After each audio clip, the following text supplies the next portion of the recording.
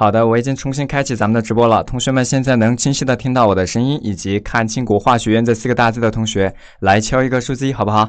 我们先来确保一下咱们的设备，就开始咱们今天的课程。你们都准备好了吗？好的，我已经看到同学们的回复了哈，那证明咱们的设备呢是没有问题的。那首先欢迎大家来到我们大鹏教育国画学院，进入到我们的山水专项提高课程的一个学习哈。那我是这一期课程的主讲老师博云。那首先祝贺大家呀，顺利的从咱们的基础课和花鸟课的一个呃学习呃的毕业嘛，进入到我们山水专项课。那本期本节课开始的三十节呢，将由我来陪伴大家一起来学习哈。希望我们的同学都能保持好咱们的队形，拿好自己的啊画笔，我们一起来晨回未相，然后笑意山海。不管之前咱们的基础如何，从现在开始，咱们就是呃，我们就是一个新的开始了，对不对？那最后呢，就期待我们的同学在我们的课程当中啊，画出自己最为满意的作品，然后畅享咱们绘画的过程的一个愉悦，好不好？那可能有个别同学呢，呃，和老师呢在视学课上已经认识了，然后呃，也有部分同学可能是第一次和老师见面，对吧？那在正式开始我们今天课程之前呢，呃，先对我自己以及咱们这期课程呢做一个简单的介绍。那既然咱们是来画画的，对吧？那我就简单的放了几张老师呢在学习传统山水画的时候的呃画的一呃几张作品。哎，稍等一下哈。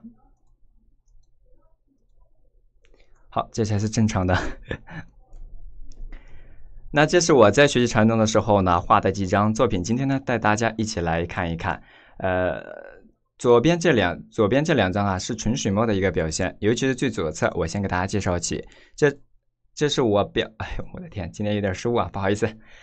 左侧这一张是我我临习的是五代时期匡庐五代时期金号的它的一个匡庐图啊。那这张作品呢，它原作是以纯水墨的形式来表现的，现在收藏于中国的台北故宫博物院。描绘的呢，就是崇山峻岭以及咱们说的群峰环抱的这么一个画面，大致的景象，同学们应该是有目共睹的，对吧？它表现的是一种比较典型的北方的山水画，暗含的呢是一种高士隐居的一个主旨。其实像这样的主题呢。其实深受咱们传统的这种儒释儒释道思想的一个影响。那按照我们常说的一些，比如说文人画当中呢，它也是时常出现的哈。这是左边的一个匡庐图的一个表现。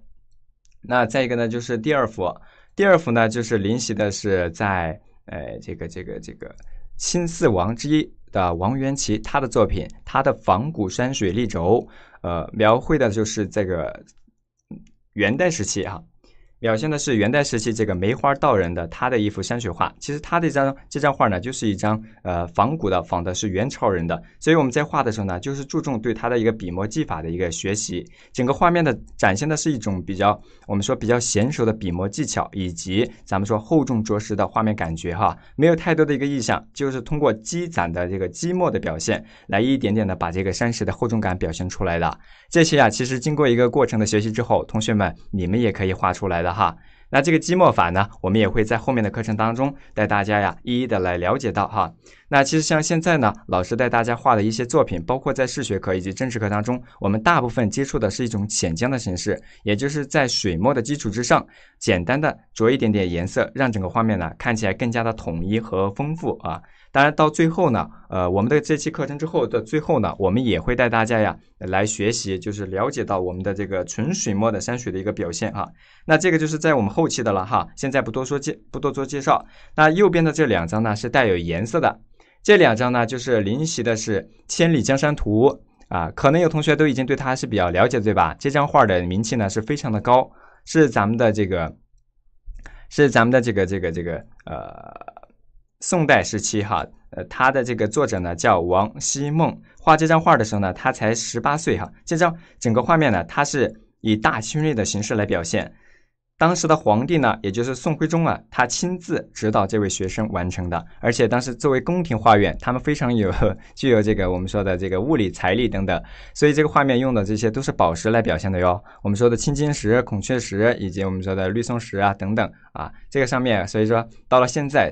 过了就是上百年了，它的颜色还能不褪色？它象征的就是一种我们说江山永固、永不褪色的一个画境。当然是截取的两个局部，到画面的也是我们这期课程的后面呢，也会带同学们来一一的感受一下咱们青绿山水的一个表现。当然，我最近呢也在临习几张比较呃大一点的这个画作，到后面呢我完成了之后，我们展现出来给同学们看一看啊。好，这是对这个画呢做了一个简单的介绍，然后我们现在呢再一起来诶看一下我们这期课程大纲的一个大体的一个了解。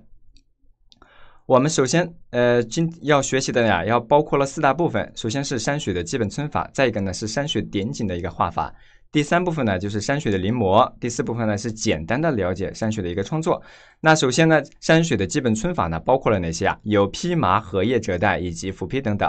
可能这个皴法很很多同学不大理解。其实我们画山水画呢，都需要去了解这些基本的皴法的。皴法呢，它是一种用来表现山石的它的一个阴阳相背、凹凸起伏，以及我们说石头的这种纹理啊、质感啊等等。那比如今天本节课我们会带大家学到的就是这个披麻皴，我们通过技法的啊一个简单的技法的切入呢，再来完成一幅完整的山水画作品，好不好？那这就是我们的最基础开始要学的。再然后呢，第二点我们就要学的是山水的一些术法和一些点景的表现。我们一张山水画里边，除了石头以外，那肯定还有一些其他的物体的表现了啊，包括树木以及亭台楼阁、人物啊、云泉啊等等，对吧？包括后面还有一些瀑布等等，我们都会接触到哈。学完了之后，你们呢再去了解，我们到了呃，再到第三部分呢，去完整的作品的呈现一些呃古代山水的一个临摹。其实临摹这个阶段呢，是我们学习啊，它经历的时间最长的。不管是我们学习哪种画呀，基本上都是从临摹入手的，对吧？那临摹呢，能使我们呢更为直观的、切实的感受到，或者说体会到名家经典的他们作品的卓越之处，使我们能够站在巨人的肩膀上前行，对吧？然后呢，呃，再来丰富或者说提高我们自己。包括对象呢，包括了是我们的两宋元明清他们的名家作品的一个了解，然后再一个最后就是我们山水的一个简单的呃形式的一个呃了解了。我们说的青绿山水水墨浅江的形式都会带大家来了解。我们对这里在这里呢，老师对这个山水画呀做一个简单的一个呃一个介绍。我们山水画呢，其实呃是从这个隋。隋唐以来呀，它开始独立成科的。在以前呢，它主要是作为人物画的一个背景呈现。那它主要是描写山川自然景色，它发展的非常好。到后来呢，我们可以说是南北尽辉。宋元时期啊，达到了一个高峰。至此呢，是蔚为大宗，形成了咱们的青绿山水、水墨山水以及浅江山水的主要的这三种形式。我们的创作就包括了这三种，好吧？那这就是我们对课程体系的一个简单的介绍。第一节课呢，老师稍微会耽耽搁大家点时间哈。然后再来看一下咱们本节课的一个课程导学。本节课带大家学习的学习目标啊，掌握的就是这个披麻皴的一个表现啊。然后通过技法的掌握啊，我们再来切实的表现一幅完整的山水画作品，也就是对技法的一个实际的一个应用，对吧？然后我们的学习方式呢，包括了哪些？同学们应该都是了解的哈。不管是从基础课还是花鸟课过来的同学，应该都都明白，是直播加直播回放。声音有点小的话，你可以把自己的音量提高一点，好不好？老师这儿的麦屏显示已经是最大量了啊，已经是最大量了。五年级不影响的哈，直播加直播回放。那在这里，老师呢要强调一下，希望我们的同学呀，要尽可能的呃跟上咱们的一个直播课，因为这样呢，既是咱们学习节奏的一个把握，对吧？同时呢，也是老师在老师和同学们的一个陪伴下呢，能够更好的促进大家的一个进步，也能方便及时的为大家答疑解惑。最后，希望我们的同学在课前领取好素材。刚刚已经说到了，课前领取好素材，课后呢一如既往的提交你们的作业哈。咱们现在不正在举行这个积分活动对吧？呃，时间快到末尾了，希望同学们今天晚上你们上完课之后呢，就把自己的作业提上去。同时，老师呢也要了解到同学们的一个学习的情况，对吧？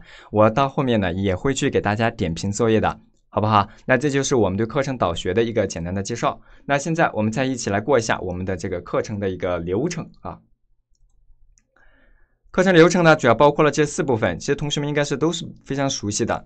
第一部分呢，就是我们要实物观察啊，了解一下我们所要表达的物体它的一个对象到底长什么样子，对吧？动手之前呢，我们要增添一个基本的一个印象。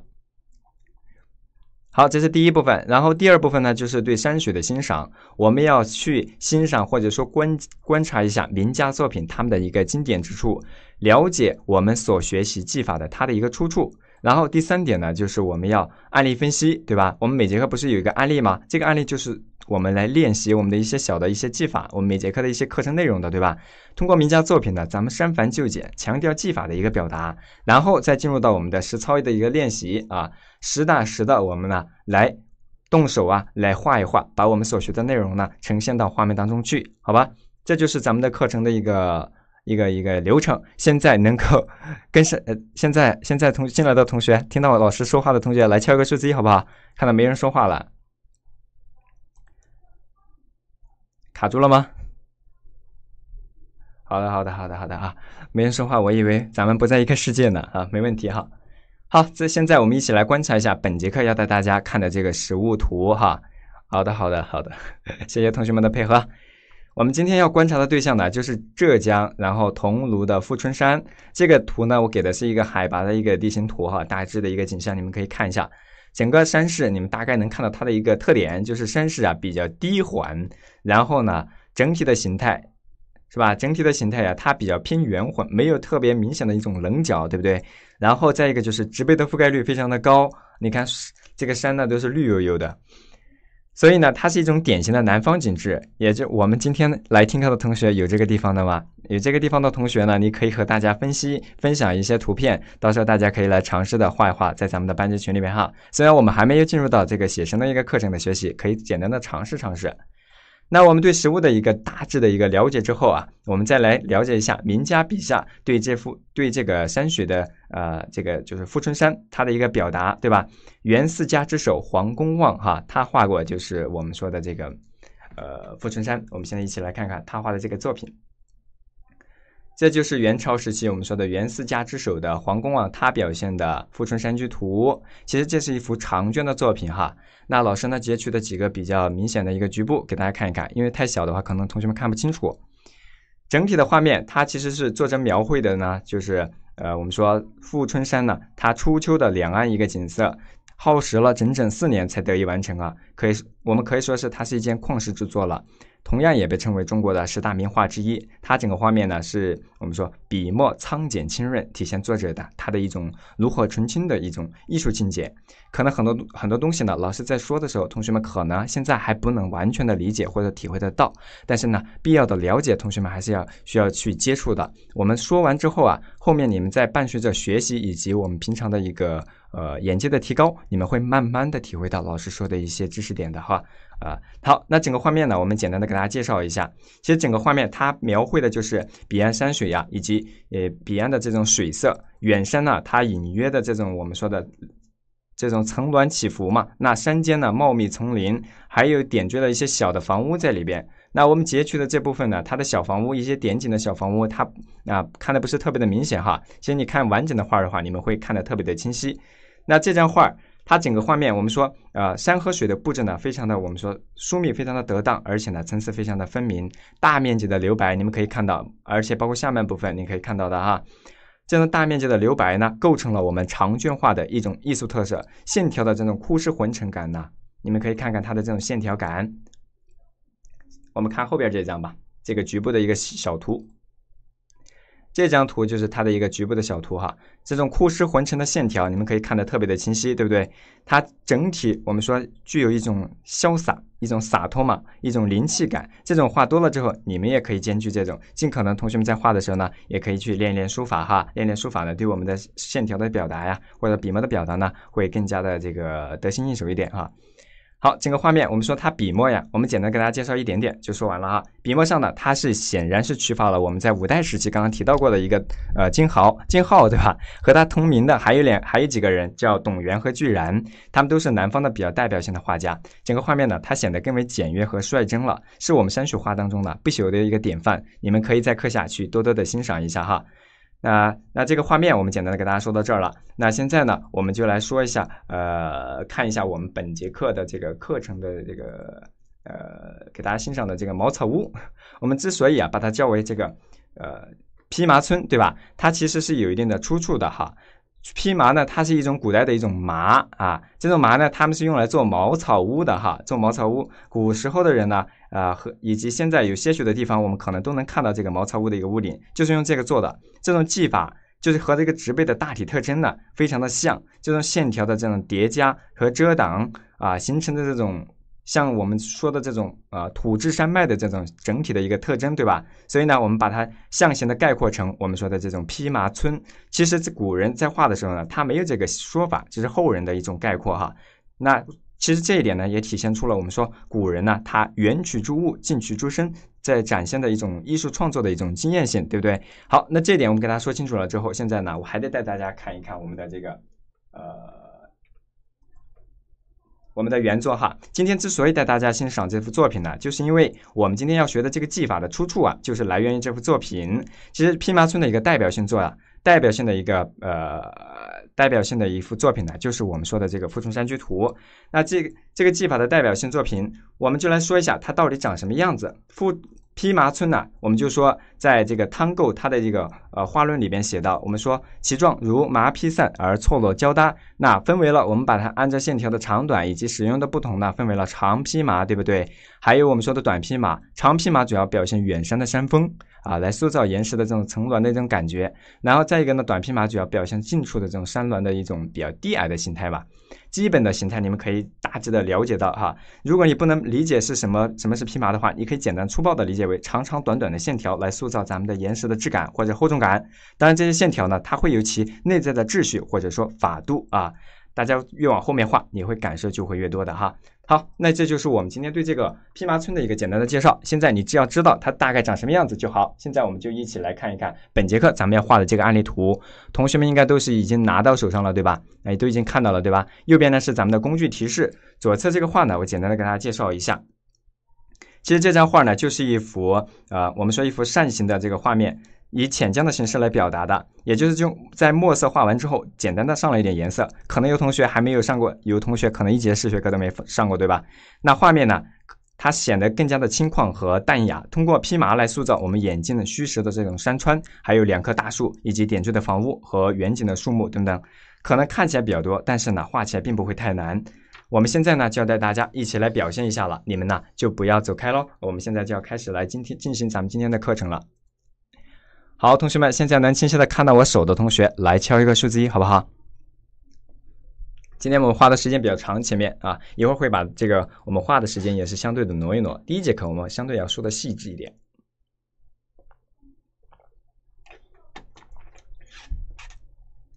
好的，同学们，那这个纸张呢，我给大家有同学一直在问这个尺寸的问题哈。如果说你没有准备这个扇形的这个呃尺寸的哈，你就用这个我们外面的这个方形的这个长方形的这个纸张就可以了。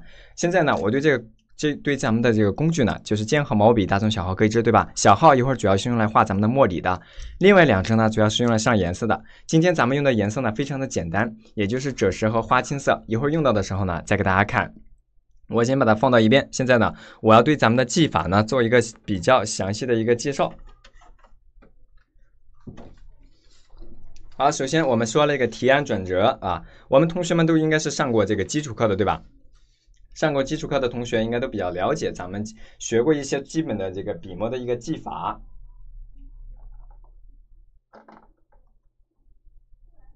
我先把墨汁给倒上哈。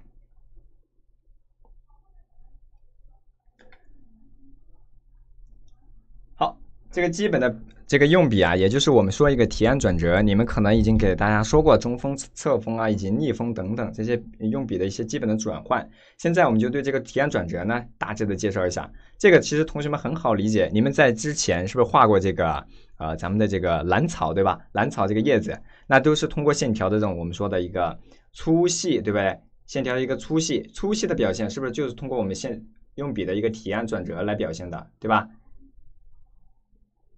好，是不是就大概这样去表现的？那我们在画山水画的一些轮廓线条啊，以及我们在皴擦的时候画的这个笔触呢，都是要体会到，都要用到这些基本的点的。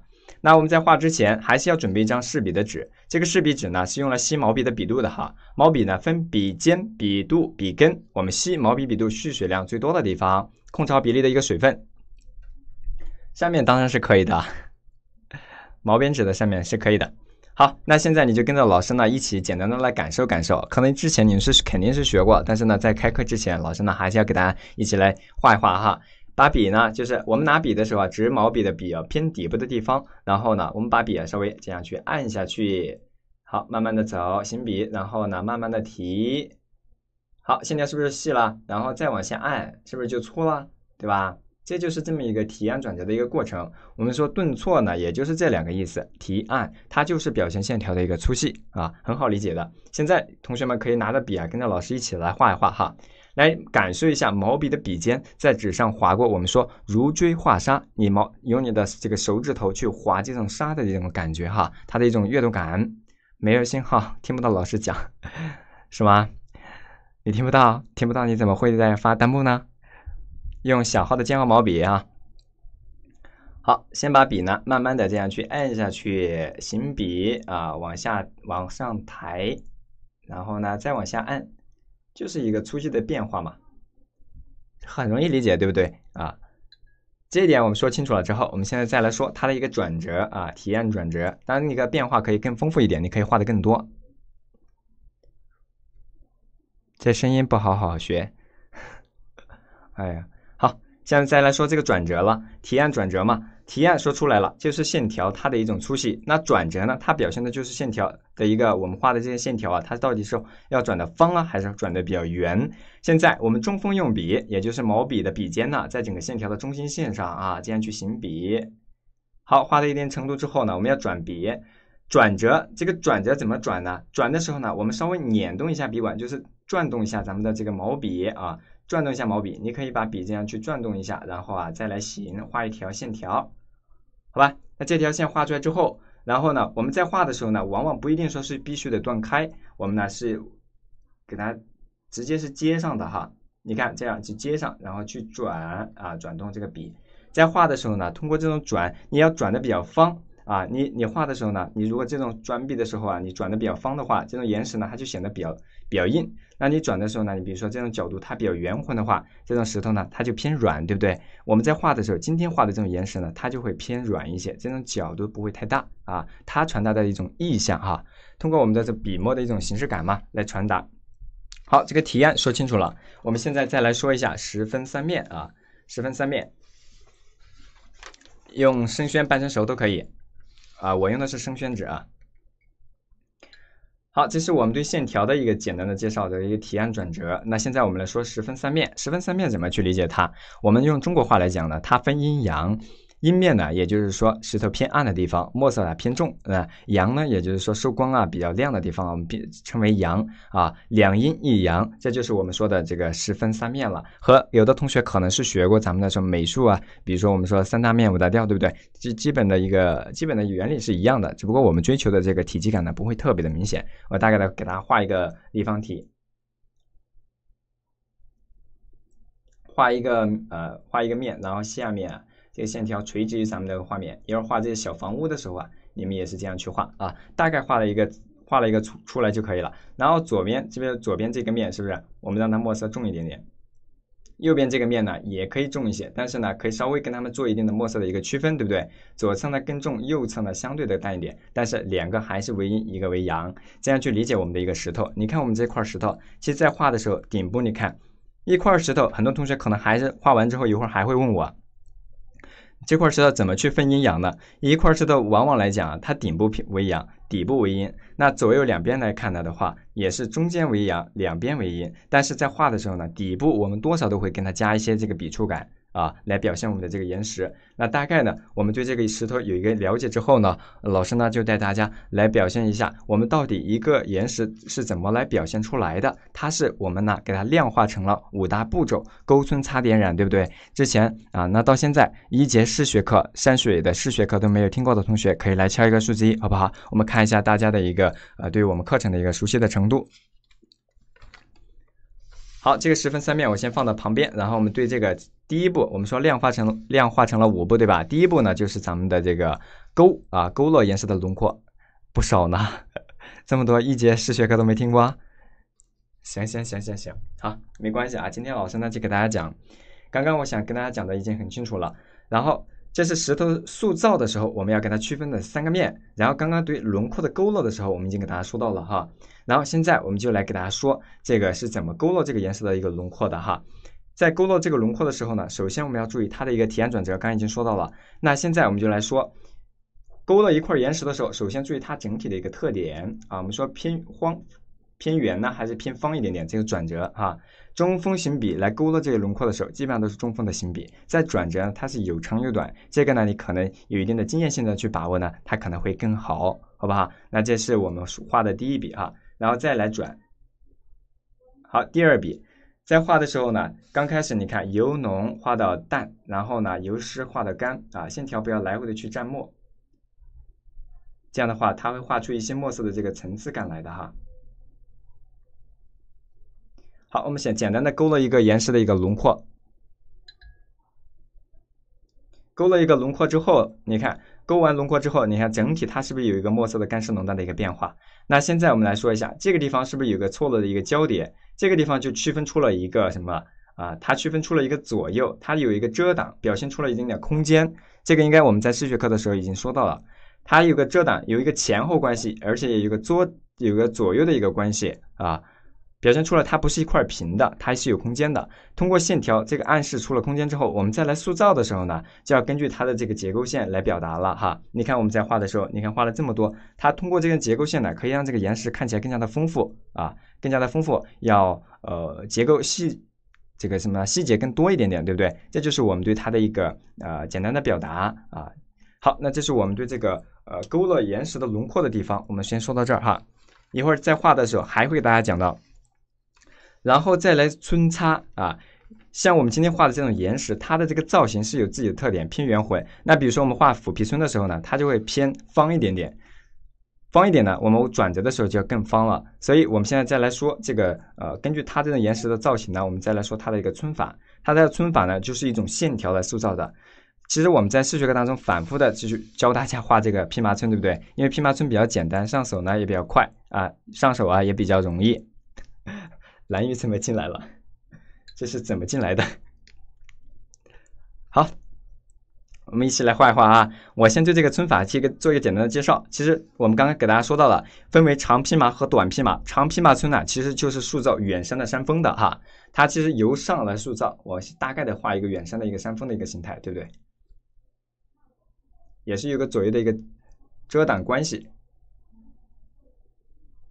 啊，大概的一个山峰的一个造型嘛。那我们在画的时候呢，它是实入虚出。什么是实呢？也就是入笔的地方要浓重一点点，线条是不是要粗一点点？它和纸张形成的对比啊，为就比较强，我们称为实。那底部呢，它就慢慢的把笔提起来，就为虚。你看我们在画这个远山的山头的时候，整体也是这样，山头啊，它墨色要实一些，那底部呢就要偏虚一些。所以说我们在皴擦的时候用的这个笔触呢，皴擦用的这个笔触呢，它就是一种实入虚出的一个线条啊。那我在这里再给大家画一下，好好听课，好好听课啊。我们班呢有一个同学好像有一个跟我名字比较接近的是吧？也叫博云的啊。好，实入虚出，也就是用笔的时候，你看啊，是不是他要？行笔的时候呢，它要浓重一点点，好，这就是咱们说的长披麻，它主要塑造塑造远山，而且呢，线条相对来讲比较长。然后在组织它的时候呢，我们要注意哪些呢？它要注意错落交叠啊，你看它们是相互有一定的交叠的。我们在塑造一根岩岩石的时候，它线条肯定不可能只有一两根，对不对？很多的。那所以我们在画的时候就要注意它们的组织的一个内在的秩序感。秩序感就是我们说的一些法度。有同学可能给我看过他的一些作品，其实里边呢，我们缺少了一些我们需要练习去注意的一个，我们从初学到后来，我们自己独立创作的时候都要掌握的一些内在的秩序感。现在就给大家讲讲，它有些交叠。再一个呢，比如说我们在这个线条的旁边呢，我们再来再来一个什么呀？遮挡的一个关系哈，遮挡的一个关系，一个错了的交叠。线条呢，不要看让它看起来都是平行的哈，我们要有一些我们说角度上的一些变化。如果感觉平行了，我们中间给它加一根线条，给它破一破啊。线条呢，它不是说完全垂直直的，它有一些波折啊，这样看起来会自然生动一些啊，形象一点点嘛。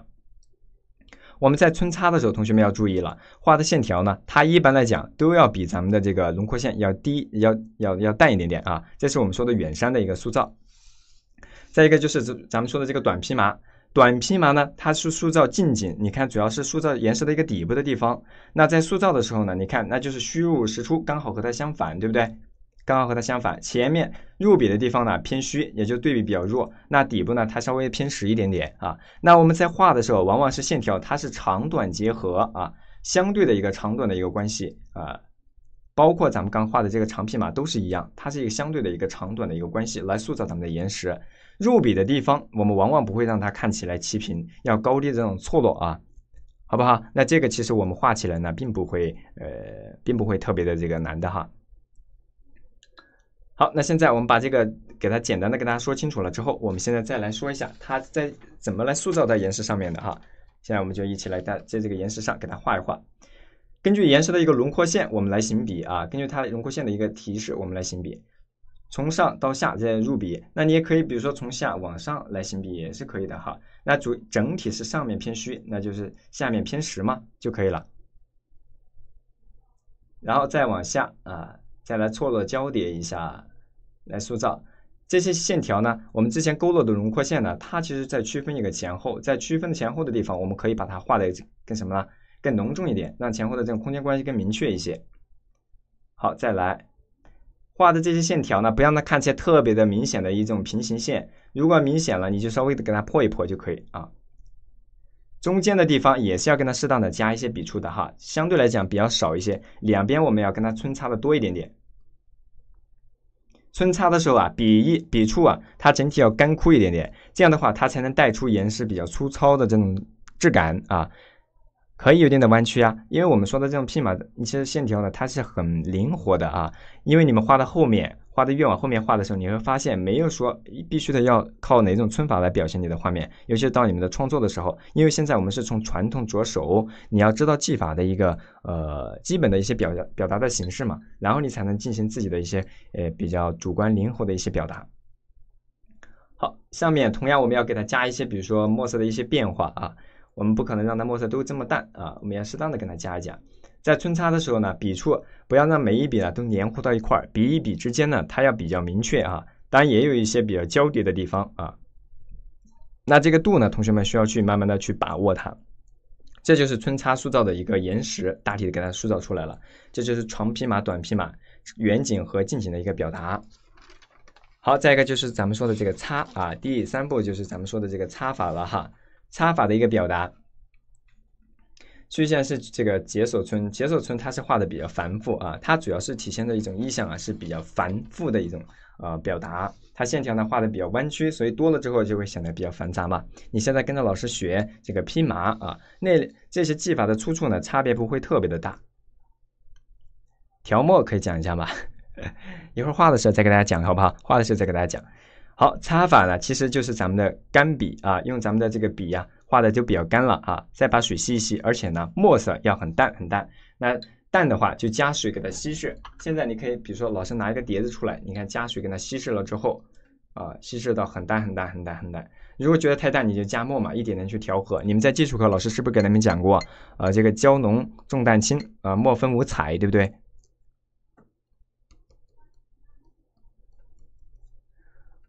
好，现在我们比用比较淡的墨色啊，再来擦一擦，擦哪儿啊？主要是擦咱们的这个干笔侧锋，对不对？擦咱们之前皴擦过的这种地方，水分要控制好，要让这个笔墨，这个我们的这个墨色呢，它要看起来更加的厚重啊，而且呢，让我们之前勾勒的线条看起来里边的这个小白点呢，不要特别的突出啊，让它稍微的融合一点点啊，这样的话也其其实其实呢，也让我们的整个画面看起来更加的呃苍浑厚重了，也是丰富笔墨的一个表现。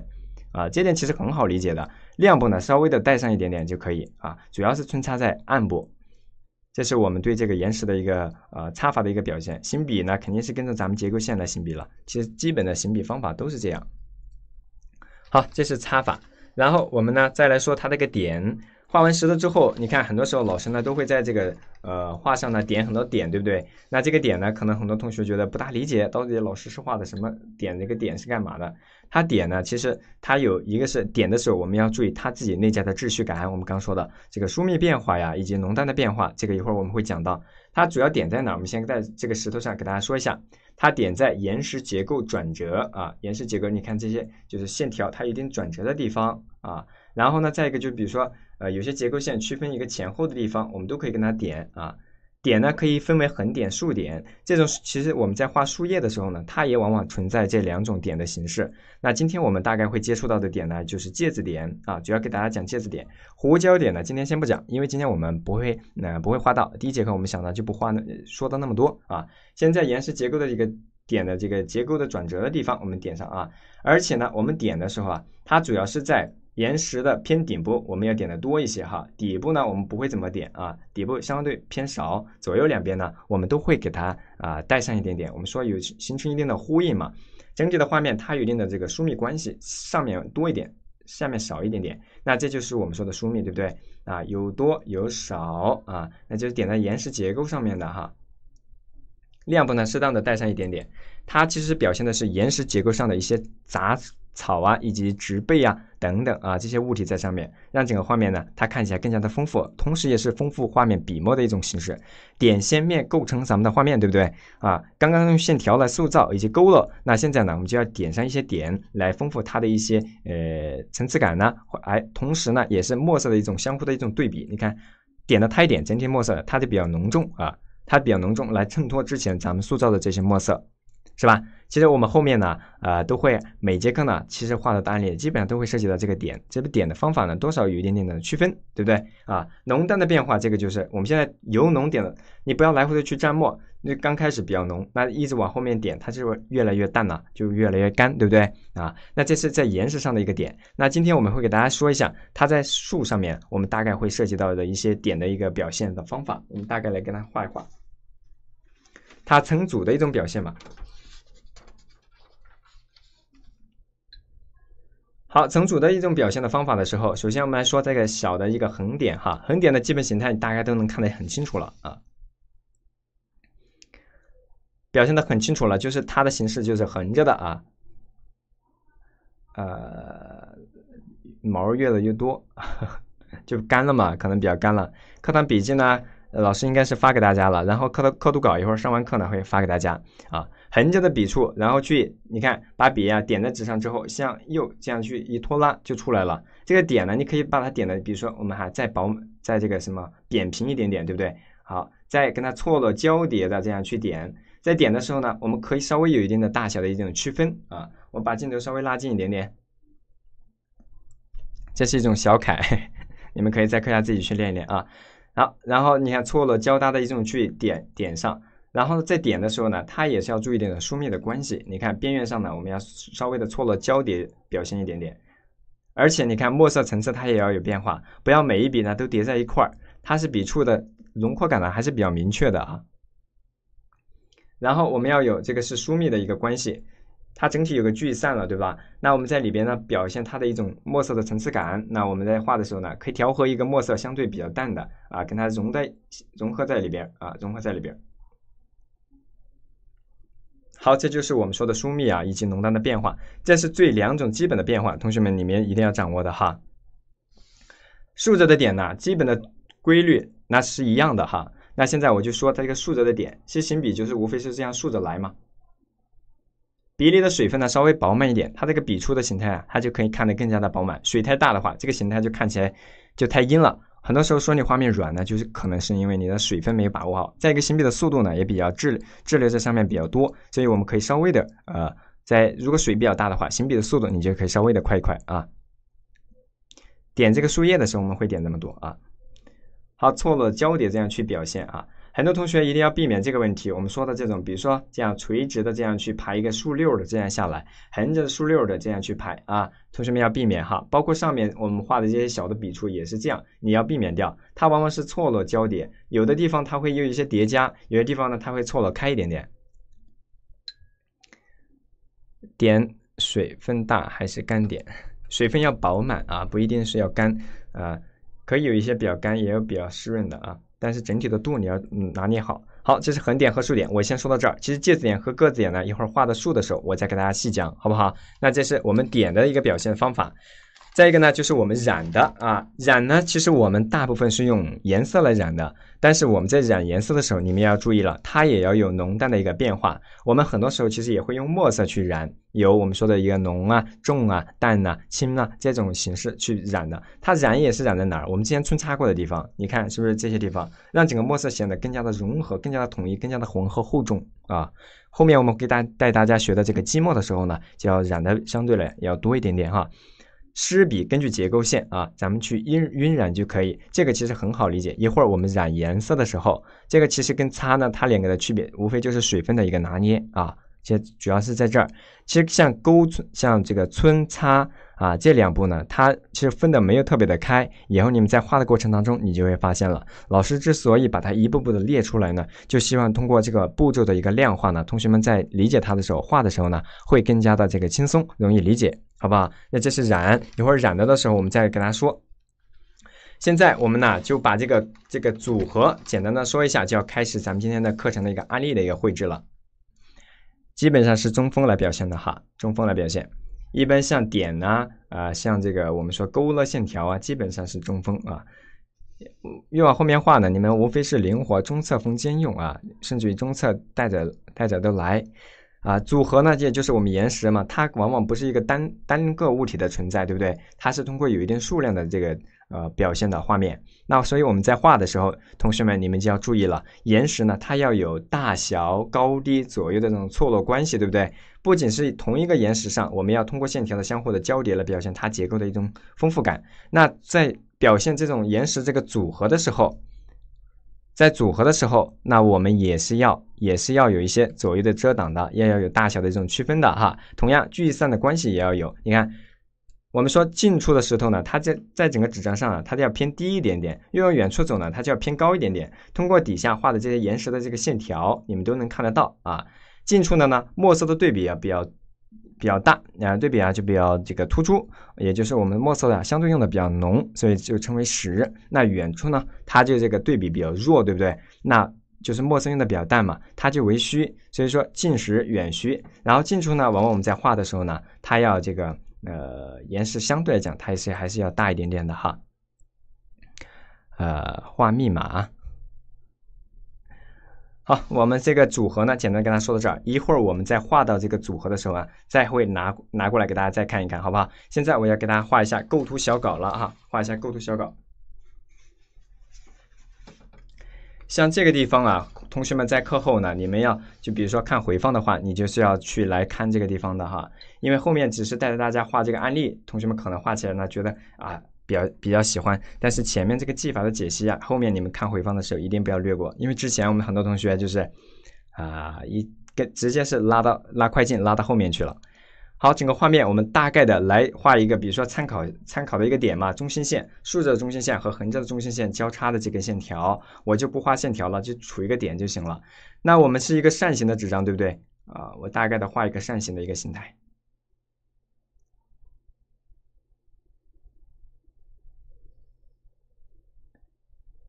我们先把构图小稿带大家来定一下物体的一个位置。我们首先在画的时候，同学们，你们应该是大概能看到物体有画面有哪些物体是吧？基本的岩石和树木和一些点景的小房屋，它们的大体的位置的分布在哪儿啊？也就位于整个画面的，你像近景，也就是我们分分为由近及远来分为近、中、远三大部分。那近景呢，以及咱们的中间部分呢，就是在这一处啊，中心线左右附近啊，那位于横着的中心线以下。所以我们大体的一个位置呢，给它定出来。大体的横着的中心线给它定出来，定出来之后，在边缘这一侧呢，还有一处岩石的组合啊，高低大小的一种堆叠的一种关系啊，给它表现出来。边缘上要留出一定的间距，我只是简单的勾勒一下它们的一个形呃一个位置的大小哈。好，这块勾勾勒出来了之后啊，咱们在左侧左侧表现的时候呢，它也是通过岩石的一层一层的这样去表现这个它的一种呃远近山川也好啊，或者说它的一种厚重感呢，对吧？那在大概就位于这个纸张的一个边缘上啊，对吧？就是通过这样去中间的间隔还有一定的距离，我们要跟它表现出来。整个画面其实左半部分呢要偏多一点点，右侧呢为了平衡画面，所以在这个角落这儿，这个扇形的一个角落这儿，我们画了两层岩石，对不对？这两层岩石的大体的一个和左侧呢，它还是要有一定的这个间距的哈，没有完全交叠上。然后再一个就是咱们的远山了哈，远山呢就是为从上往下数来参考，它主要是三有两个比较明显的山峰，对吧？那山峰旁边呢，有一些错落交叠遮挡的一些呃这个其他的一些山包。那我们在画的时候呢，也是要注意前后的一种墨色的一个变化，前面为实，后面为虚啊。那我们在画的时候，这个山峰啊，大体的一个位置，中心线偏左一点点。这个山峰你边缘不用画的特别的齐，你可以稍微波折一点点啊。有同学说这样画的一个形态呢，有点犯忌讳，那你可以大概主观的一个取舍一下，把这个形态呢说有一些转换啊，这个都没有关系啊。对吧？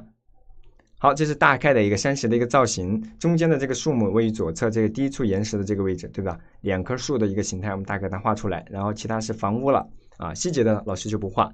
你看基本的一个构图，我们在着手的时候呢，是由近及远去表现，由主到次的一个绘画的一个步骤的方法，好吧？同学们，你们这点应该是都理解了，对吧？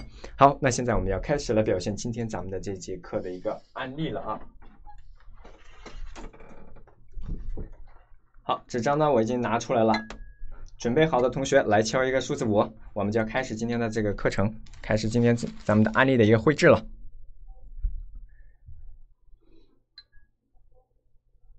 好的，好的，我已经看到大家的回复了，我们呢就开始今天的课程了。我现在把镜头稍微推远一点点，推远一点点。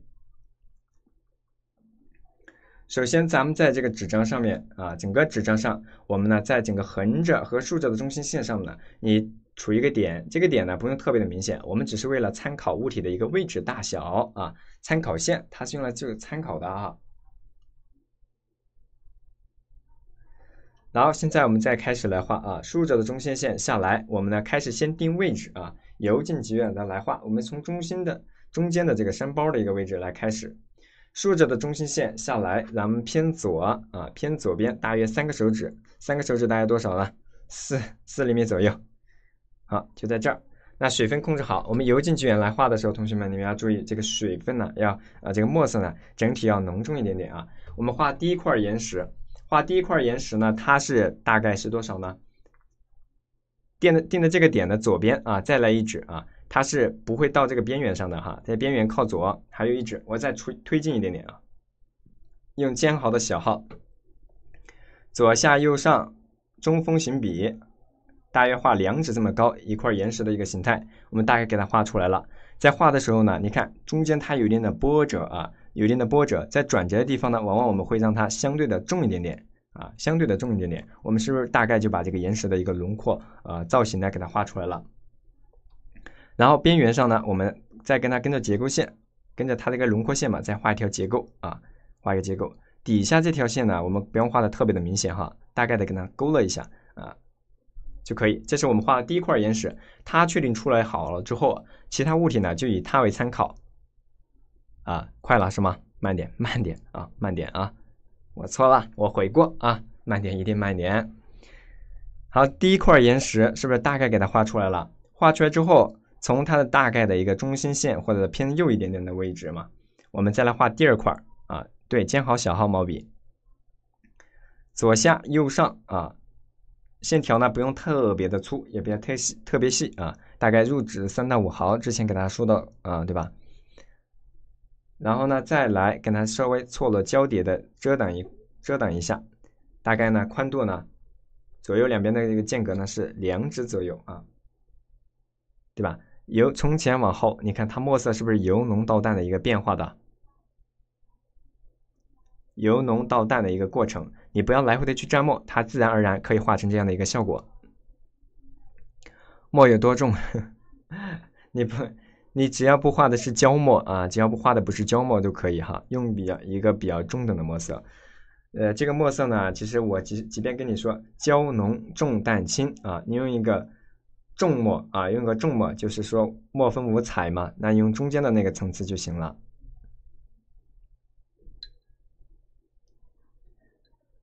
这两块岩石应该是勾勒出来了，对吧？那我们再来画第三块，第三块呢就是旁边啊，它左侧左侧这一块的时候在画的时候呢，它就是在整个岩石的左侧呢，偏呃两指左右两指左右，它整体是偏扁平的啊，低矮一点点。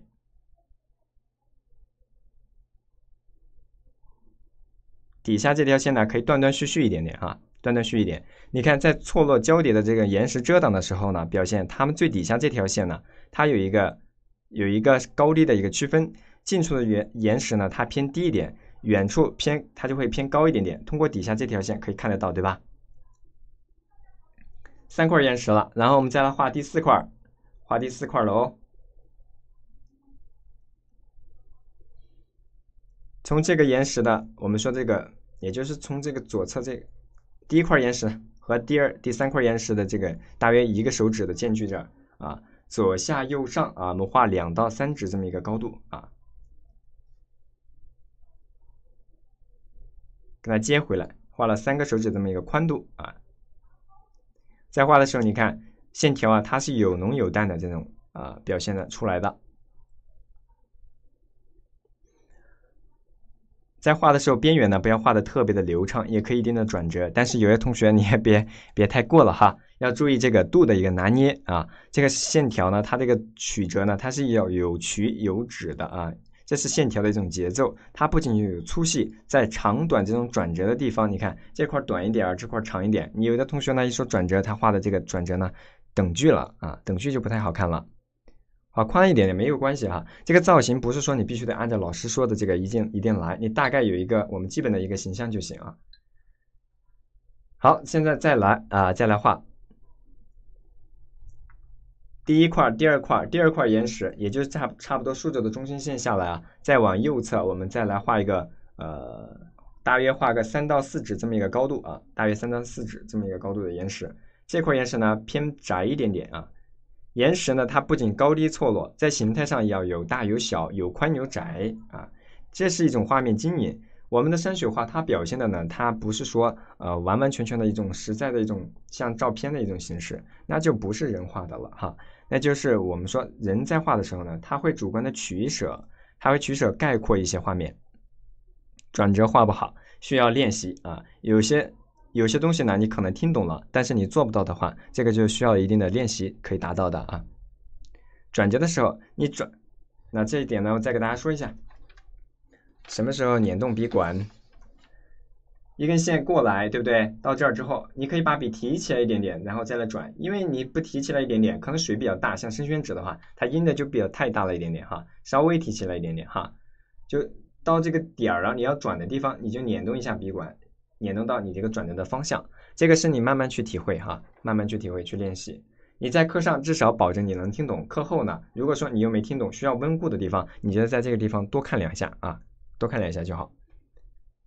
中间多给了一些，我们多画了一点点它的一个结构线啊，让这个岩石呢显得更加的这个丰富啊。好，这块画完了之后，在这块岩石的右侧，大概这个中间的位置，中间的位置呢，我们再来画一块啊，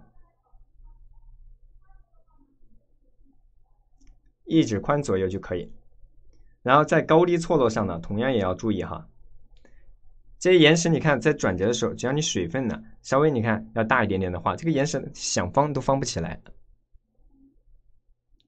画偏了一点，没有太大关系的哈。我们山水画呢，它是一种我们说比较率性达意，以及像我们的文人画呀，像写意的花鸟，往往都是这样的。对造型上要求呢，不会特别的严苛，不像人物啊，你怎么画，它只要按照我们的这种步骤来塑造，它都会像岩石的一个形态啊。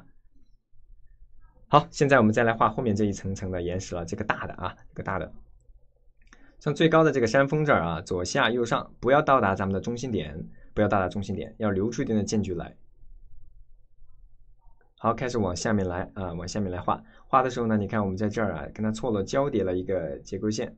当然，这个线条呢，不用让它特别的淡哈，要可以有一定的墨色的一个前后，你看要有区分。但是呢，中间有时候不是说。完全是前面重，后面完全就没有淡的了。你要适当的带上一点墨色，让前后形成一定的呼应呢。这样的话，其实你们越往后面画，我们说的一种趣味性啊，墨色的趣味性也可以体现的更好。可能不太一样，没有太大关系。你根据自己的画面呢，你在主观的这个取舍一下下哈，拿捏一下。当然，在初学的时候啊，尽可能使用和老师的案例尺寸比较接近的纸张，这样的话对构图的把握啊啊比较方便。好，我们把这处岩石，你看整体画了大概多宽呢？一掌，一掌十厘米左右这么一个宽度的左右啊。这一块儿我们先画到这儿，然后后面我们可以再来细节的塑造啊。这块你可以画的不那么高，可以低矮一点点。位置没有控制好，你们刚开始画的话，多少都会出现一点这种问题，很正常的哈。只要大体看起来像一块岩石都没有问题。好，旁边我们再来塑造这块比较大的岩石了。这块大的岩石，我们先勾勒的都是它的一个轮廓啊。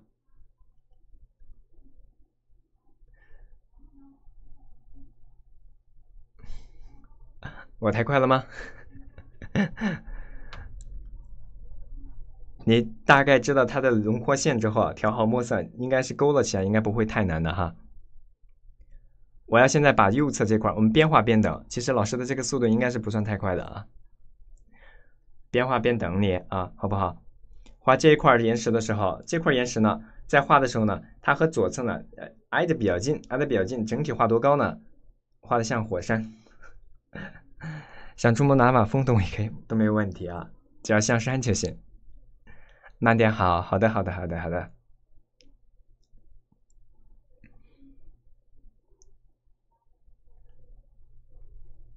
海燕燕也说：“老师太快了，是吗？我慢一点，慢一点。我把这个墨碟放到你们的面前，应该看得到的位置哈。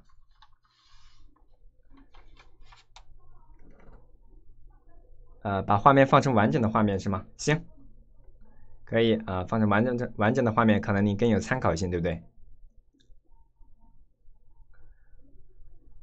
好的，好的，好的。那现在我们可以开始来画这一块了吧？”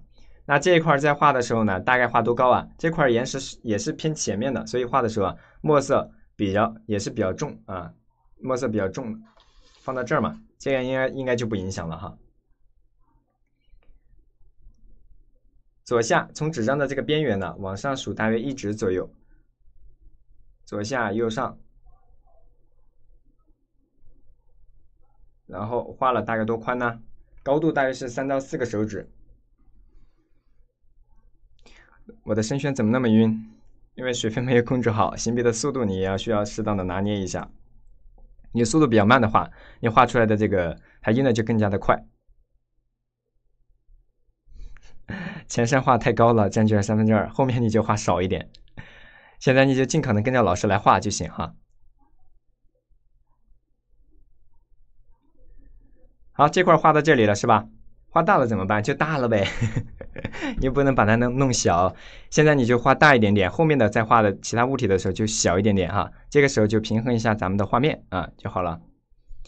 刚开始画的时候，你们造型上肯定会有一定的问题，太慢了，有同学说太慢了是吧？这个技术比较好，中锋或者中锋稍带侧锋一点点是可以的。往往我们在画的时候不会用到纯粹的中锋，那样画起来呢，嗯，略微显得有点笨笨的啊。好，然后再来前面呢，我们稍微的给它。遮挡一点点一个岩石的结构，到它的这个边缘的地方，我们来跟它画一块小的岩石啊。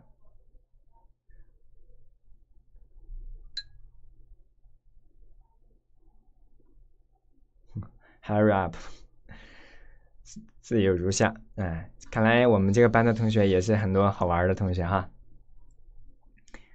好，先画到这儿，然后右侧我们呢直接给它。直接给它再画一点小的结构线啊，长长短短的结构线，来让我们的岩石呢看起来更加丰富一些哈。不会太淡了，太淡了。如果说你现在画的这个轮廓线，比如说你觉得太淡了，一会儿咱们在皴完了之后看不清楚了，你可以适当的再把它给呃复勾一下都没问题的哈。我们在初学的时候，我们之所以给大家说了是量化成几大步骤来画呢？让大家把这些地方，比如说勾勒轮廓呢，会勾勒的比较明确，对吧？有的画作可能你看轮廓线它不会特别强，那是因为人人家用笔墨，它用的很记这个什么呢？很灵活，很自由。你们越往后面画也会这样的，但是你们要有前面这个步骤，不然你们越要画的话就融到一块儿去了。呃，好的，画稿全展示哈。那现在我开始画了哈，右侧这一块已经给大家定出来了。印出来之后，边缘同样，我们也要画一块小的岩石啊。这小的岩石呢，你们也不要太雷同，它也是要有大小的这种区分的。要注意，它和边缘的岩石啊，和咱们这个纸张的边缘的一个区分。我往上挪一点点吧。我是不是要把画面再给放大一点点呢？初学第一节课，你们第一二节课可能都会觉得难，这很正常啊，再正常不过了。但是你要坚持一下，你只要把这两节课过了，我想你同学们你们都怎么说呢？就算是感受到了咱们的这个看到我们的这个门了啊，看到我们这个门了。第万事开头难嘛，你只要把这个前面这两节课坚持过去啊。老师太慢了，老师老师怎么办呢？老师太难了。好，后面咱们画一个浅滩，在这个这个最高的这个岩石的中间部分呢，来画一个浅滩哈。大概画了多宽？三到四个手指，四个手指大概大概左右。底下这条线不用特别的强哈，不用特别的强，上面这条线可以让它强一点点。快点哈，可以的啊，要快的话是很容易的哈。烟花未来，八岁的宝宝居然要求老师快一点点。想要老师快一点的同学来敲个数字一，想要老师慢一点的同学来敲个数字五。我们来比较比较。好，你十岁，十岁哈。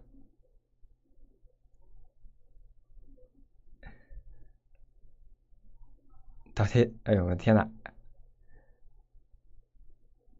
一和五差不多啊，看来我这个速度拿捏的不太好呢，哎，怎么办呢？那我们现在就开始带大家来皴擦了哈，这会儿就画起来就快一些了哈。看来这个不分伯仲了啊，不分伯仲。第一节课肯定会有同学说快啊，这个再正常不过哈。但是你要跟着老师来啊。现在我们开始来皴擦，来塑造我们的岩石了哈。在塑造的时候，墨色啊，墨色你要尽可能怎么的，正好，哎呀。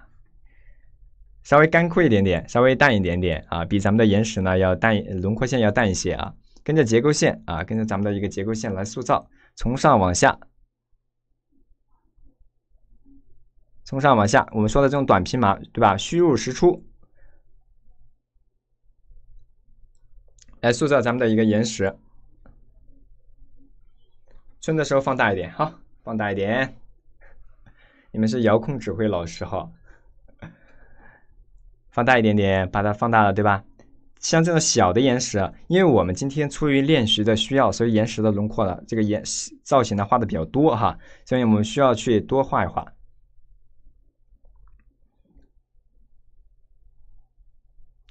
好，现在再来啊，再跟着这边一来，同样在前面这一处岩石都是用的这种短平马，虚入实出啊，错落交叠，塑造岩石的一个偏底部的一个地方啊。偏底部，好，这块岩石是不是大概给它画出来了？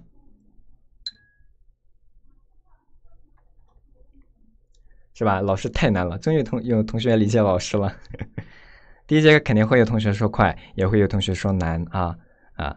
然后在左侧这块也是哈，跟着岩石的一个结构线，我们来行笔啊。要长长短短的，每一笔每一笔之间呢，它会有一定的间距。有同学可能啊，把它画的黏糊到一块儿去了，那样的画面呢，看起来它就怎么说呢？啊，它需要有一定的融合，但是你不要把每一笔都融合到一块去，也不要每一笔都区分开。这个多少呢？你可以拿捏一下，看着你的画面来啊。只要看起来不要特别的平行啊，线条不用特别的平行呢，你这个到底是要这个。交叠多少，这个你就看着来就行啊。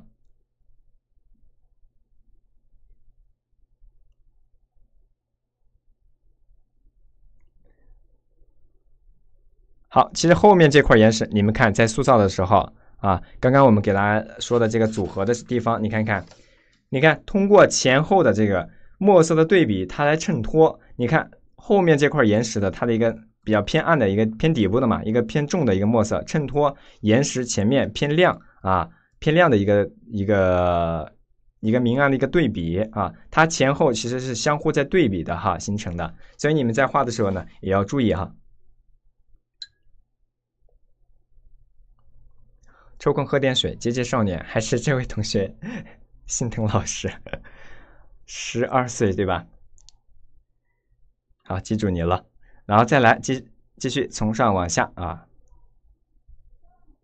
把这些岩石都是以同样的这种塑造的方法，你同样画的这些线条啊，不要都融到一块去了，也不要完全笔一笔都很分明。如果分明一点呢，一会儿你可以再补充笔触都可以啊。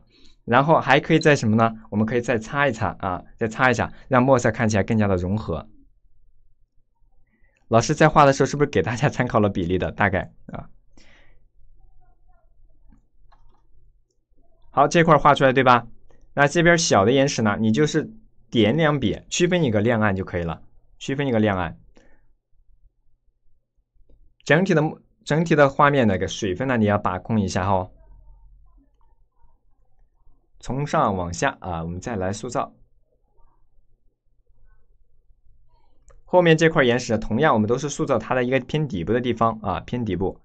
一块岩石呢，左左右两侧我们相对塑造的要多一点点，但是也不是说一样多啊。左右呢，相对它有一个我们说有个疏与密的一个关系，对吧？线条啊，长长短短的啊，用的笔呢，它相对来说比较干枯啊。好，这一块我们都给它塑造出来，它重一点呢，更好的衬托前面啊。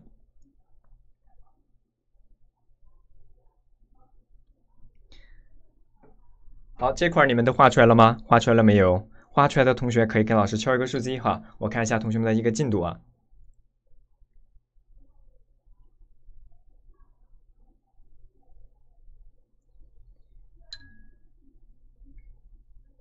画出来了吗？还没是吧？那我们就等一等，等一等，边画边等，边画边等。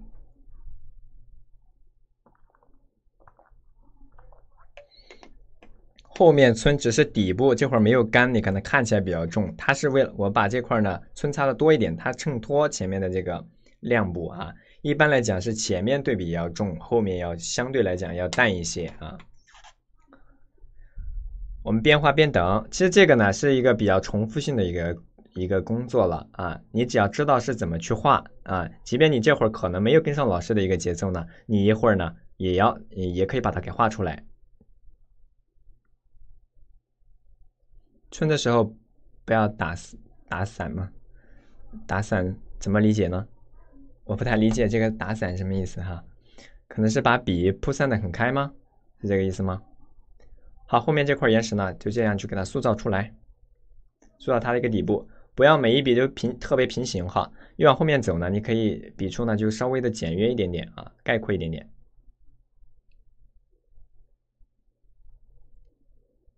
你在吃饭呢？边吃饭边画画是吗？好，这块画出来了没有？画出来没有？然后啊，我们再来画旁边这一块了。前面这一块呢，它比较偏前面，对吧？那我们稍微用一点比较浓重的墨色啊，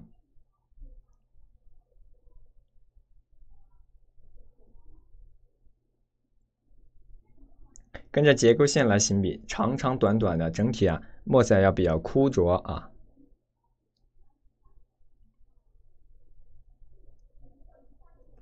虚入实收，对，入笔的时候偏虚，收笔你看收笔的地方它要偏实，也就是线条底部呢它要重一点点嘛，不然的话这个石头它就飘的，它底部呢它就感觉不到着不到这个地面上去。现在这一块你看是不是村的感觉比较平均呢？啊，就墨色感觉啊都比较雷同，对不对？那里边我们要有墨色的层次的变化，不。不仅要有淡墨，而且呢，也要它有一些过渡的层次在里边啊。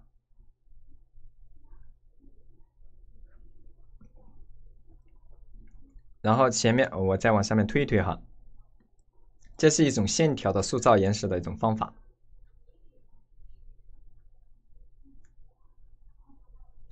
对呀，虚起实收。这块小岩石你其实点两下，底部它就偏重了。其实很容易，对吧？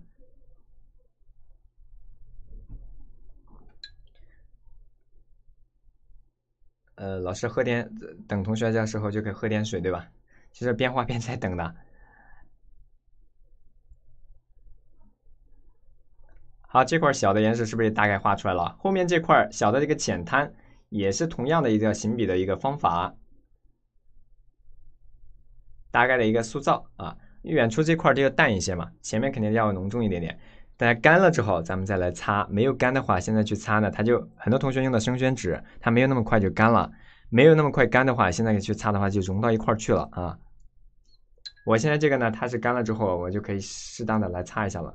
墨色我们刚说了，侧锋啊，一个是干，再一个呢要淡啊，然后跟着结构线咱们来行笔，让之前画的这些墨色呢，笔触呢更加的融合啊，让暗部皴擦过的这个线条，这个里边的小白点给它盖住一些啊，不然的话它显得有些花，有些碎，对不对？现在就是统一一下它的墨色。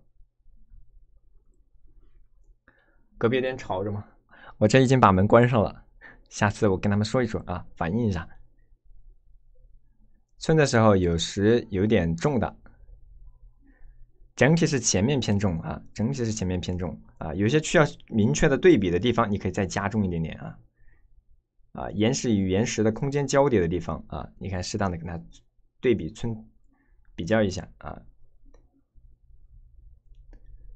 比较干枯、比较淡的墨色哈，擦岩石的一个底部。你说你的隔壁啊，在区分的时候啊，你可以把它给这个墨色呢，可以重一点点。当然，在在皴擦的时候，其实呢，你们说怎么着？不要所有的都跟它对对比的特别强。你看远景的话，就让它对比不要那么强啊，就不要对比那么强。擦的时候呢，它会连连着这个亮部呢，我们就会带上一点点啊。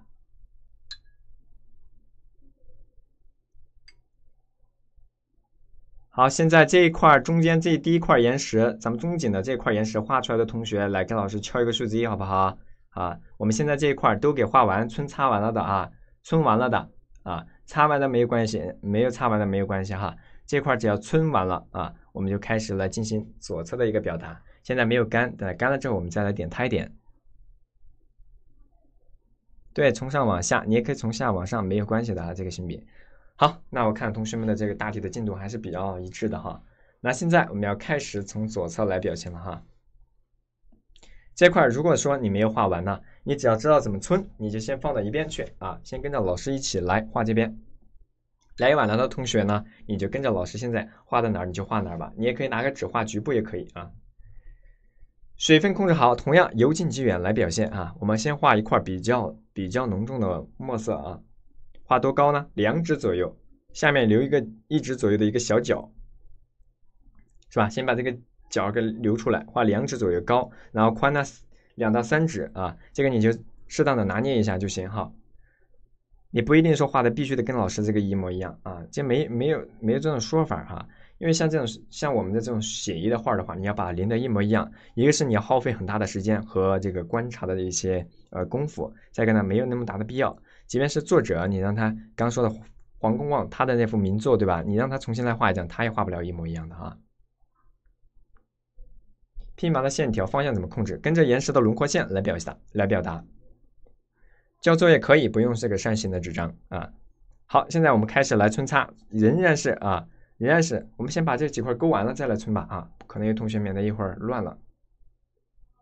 方向就跟着我们岩石的轮廓线来表现啊。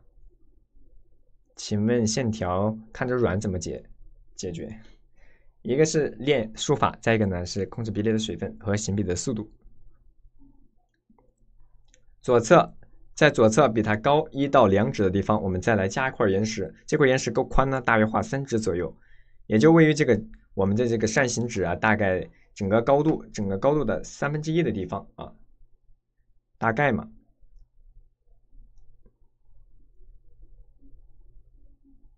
是吧？大约三个手指，你看画的还比较宽啊。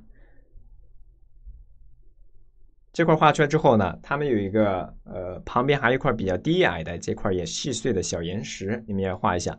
底下这条线呢，它有一个。也就大概一到两指这么一一指多宽啊，一指多这么一个高度啊。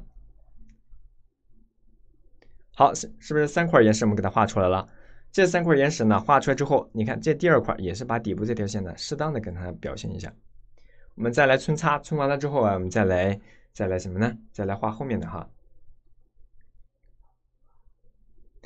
这个应该是可以跟上，对不对？能不能跟上啊？皴的话是不是跟刚刚是一样的呀？这节课呢，你们就是要练习一下这个皴擦的这个呃用笔，以及咱们整体山水画绘画的整个一个流程呢。你们掌握了之后，你们再往后面走的时候呢，同学们就会觉得啊，好像就没那么难了啊。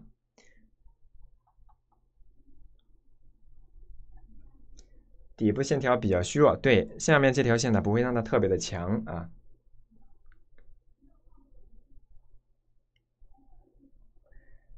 这画会画到整个一个流程，那你这张画我们整个画，你你画这么一个画出来的话，你就把我们整个山水画一个绘画的一个步骤啊，我们说的一个流程啊，是不是你大概就走了一遍了？所以你再往后面走的时候，你就不会觉得那么困难了。第一节课肯定会多少同学又觉得难啊。好，大概给它塑造了一下，两边呢塑造比较多一点，中间呢你看墨色啊相对来说比较少啊，比较少。这块然后前面这块呢同样，用笔都是虚入实出哈，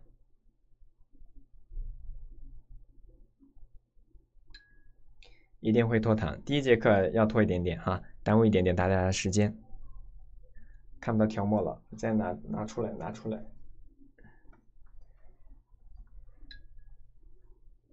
放大一点的，行。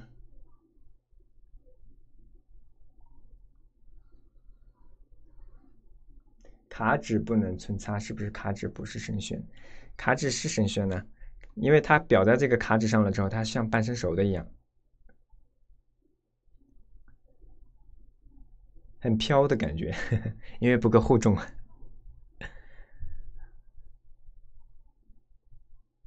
错了，就好好画画啊。好好画啊！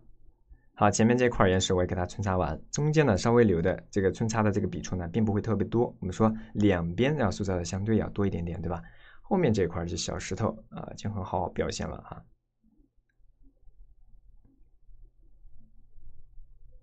好，把岩石的一个底部给它塑造出来，三块是不是给它画出来了？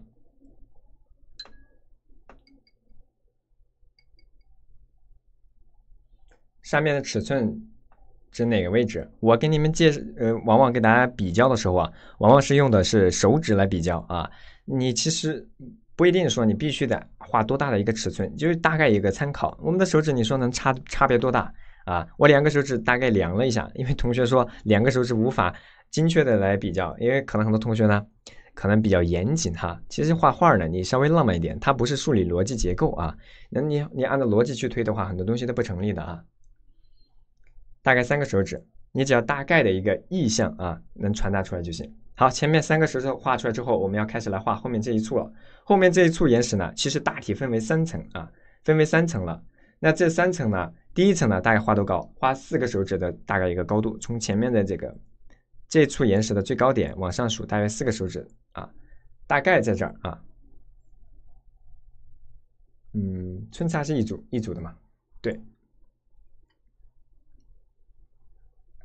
怎样才能加重？由淡到浓啊，由淡到浓去加，然后呢，由干到湿啊，这样去表现。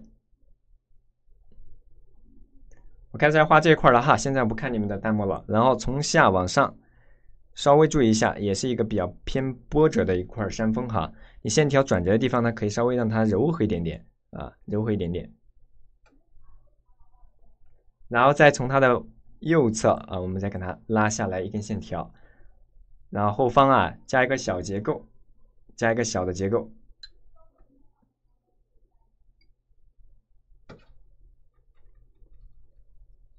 上面的尺寸，我们可能是给大家说的是边缘上哈。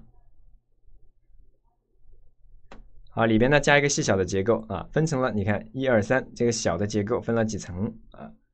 分出来之后呢，在这个中间的边缘，我们呢。在这个偏底部右下角，给它再加一个细低低矮的小的一个小的岩石的一个形态。好，是不是给它画出来了？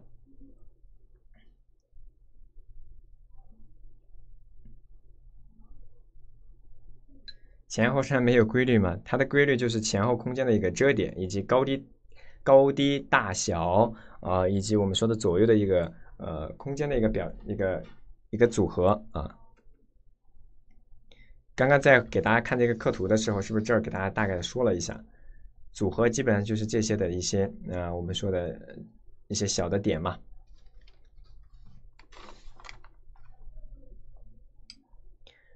好，这块是不是大概画出来了，同学们？然后我要再要往后面来画了。后面再画的时候啊，大概画一到两指啊，一到两指可以不到，不一定是画的完完全全到两指哈，可以窄一点点嘛。从上往下，高高的地方呢，大约表表现到了两指了，下面可能就没有，只有一指这么一个宽度。这一笔呢画的比较浓重，对不对？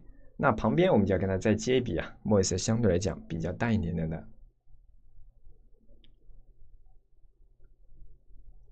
然后再往后面走，是不是一层、两层、两层画出来了？后面这一层呢，它相对来说比较宽啊，在纸张的顶部还是要留出一指左右的一个距离来，不要给它全都顶到纸张的一个边缘上去了。这样的话，不然的画面它就会显得特别的满啊。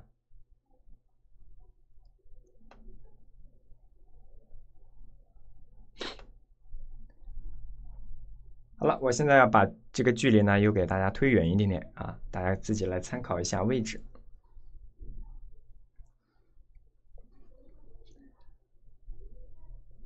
好，这一块画出来了，对吧？然后我把这个大概的一个形态给它，你看从前面的一个偏浓重到后面的墨色越来越淡啊。这块呢，我们要加一块细小的一个岩石嘛。你要不加的话，直接给它勾勒出来也行。有同学可能觉得这样比较繁复、比较累的话，你可以去去掉一层、两层石头都没有问题。好，这块画出来之后啊，我们又要开始来给它啊皴了啊，要开始来皴擦了，来塑造它。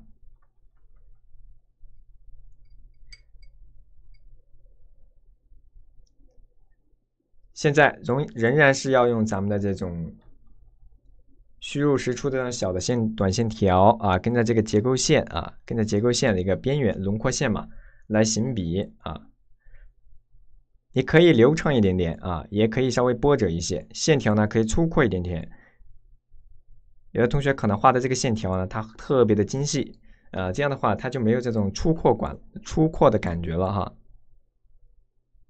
如果你画工笔呢，你可以把那个线条画的特别的精细啊，那个没问题。山雪的话，你还是稍微用笔啊出众一点。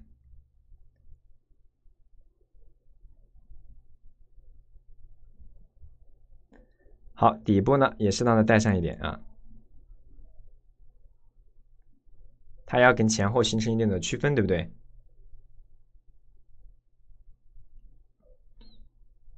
你看，我们再往后面皴的时候呢，这个笔笔触的这个线条感呢，它就没有像刚刚这些特别的明显了哈。它就略微的要隐约一点点了。用什么抹？呃，没有看懂你这个问题。然后再往后面来塑造这块低矮的小的岩石。好，包括后面这块细低矮，要注意它们之间的一个区分啊。这这会儿呢，它对比不会特别强，但是呢，这个呃。融合啊，融合也不要完全融到一块去了。皴擦用什么墨啊？皴擦的墨色，你相对这个轮廓线要淡一点点啊，先淡一点点。我们用的焦浓重啊。之前勾轮廓的时候，我们用的是一个重墨嘛啊，你现在就是用一个比较淡的墨啊来皴擦就行。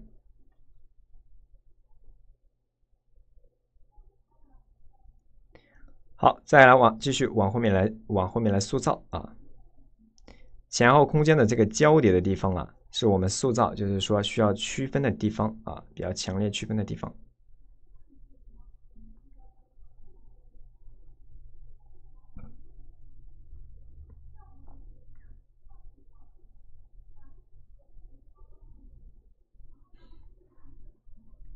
好，后面这一块也是适当的带上一点点就行啊。后面呢不会特别塑造的特别的多，但是它的厚重感还是要体现出来。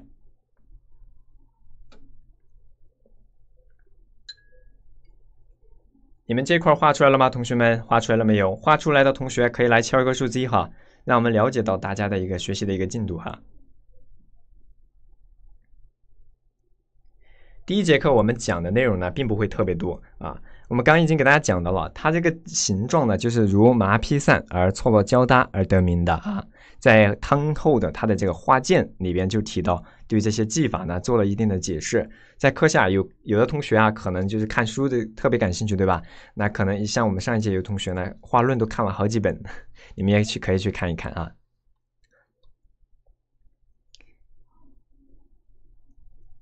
比如说轮廓线有些地方看不清的地方，你可以复勾一下哈。好，那我们现在把这一侧的岩石是不是大概就给它皴出皴出来了？现在我们开始来擦，还是一样，笔里的水分要淡啊，这个墨色要淡，水分要干啊，来塑造，来擦，跟着这个岩石的一个之前皴过的地方，来我们来给它统一融，稍微融合一下咱们的这个墨色啊。你擦完了之后，同学们一定要注意了，有的同学可能擦的墨色太重了。让之前画过的笔触呢，全都融到一块去了。这样的话啊，那你是不是就把之前画的全都给抹掉了？那真的是抹掉了哈。好，这这后面这一块也是一样。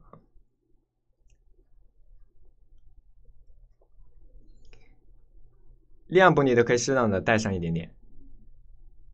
擦的时候呢，笔触呢它不会特别的强，而我们皴的时候呢，笔触感它会比较明显。有的同学呢画的软是什么呢？因为他这个明显的笔触呢都不会都看不见了，只有这个擦的感觉了啊，因为他擦的太过。还有同学呢染的太过，这是初学的时候经常容易出现的一些问题。好，都表现出来了对吧？那现在呢，我们要开始来点胎点啊，用比较浓重的墨色从前面这块开始点完了之后再往后面走。没有干的同学呢，你先不要点啊，先不要点。放大一点，这个放大了，你看哪个？现在就太点太点的话，你应该是不用放太大的，你不用去看老师这个笔触是怎么画，你跟着你这个岩石的结构线去塑造就可以了。好，在岩石的结构，你看转折的地方，对吧？我们来点这个胎点啊。前景呢，我们要对比要比较强，所以呢，我们点的稍微啊要多一点点。岩石结构转折的地方，后面这块也是一样。整体啊，前面多啊。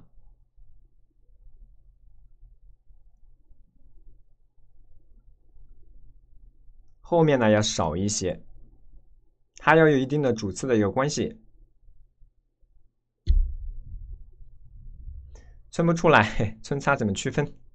一会儿啊，你要去看一下老师刚刚在那儿讲的一个呃技法解析那儿的一个部分了啊。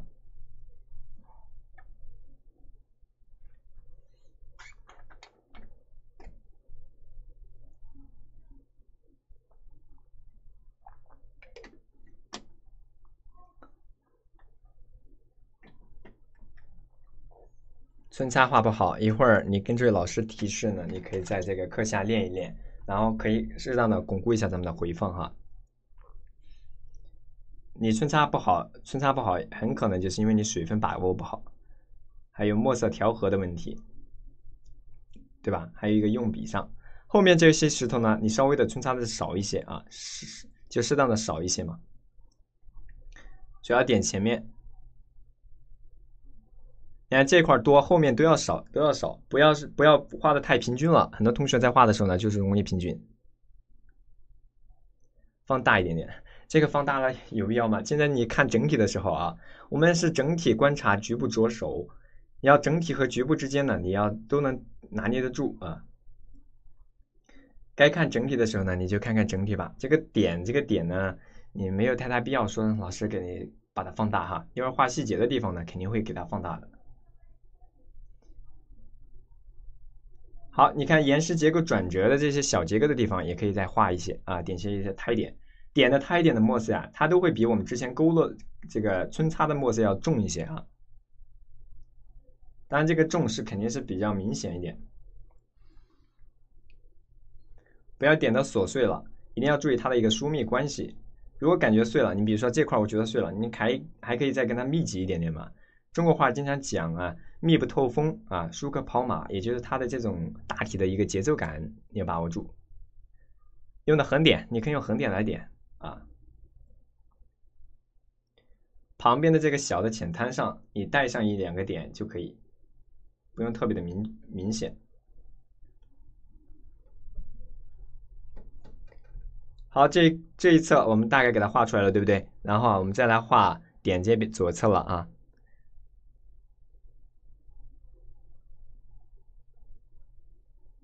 好，同样在结构转折的地方呢，是我们去点胎点的一个比较啊重要的地方。再一个呢，有些岩石啊，它们在我们说一些结构落，它稍微感觉有一个像山脊这个位置，对不对？凸出来的地方啊，我们稍微可以点多一点点。在这些转折的地方啊，我们可以适当的少一点点啊。以后你们刚刚有同学说这个解锁村对吧？解锁村呢，它就是主要点在这个山头上啊，山头上。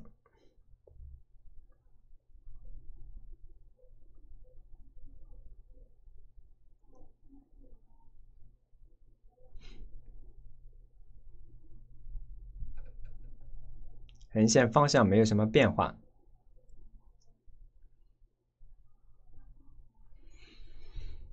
左侧边缘啊，我们都可以再点上一些点的这个胎点呢，也是同样，你可以画出一定的墨色层次来啊，点出一定的墨色层次，不是说必须的只有同一个墨色啊，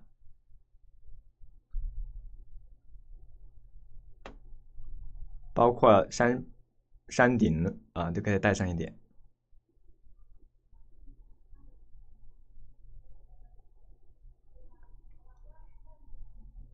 好，你们都画出来了没有啊？山水课好难，第一节课，我相信你把它挺过去，你后面都不会觉得它这么难了哈。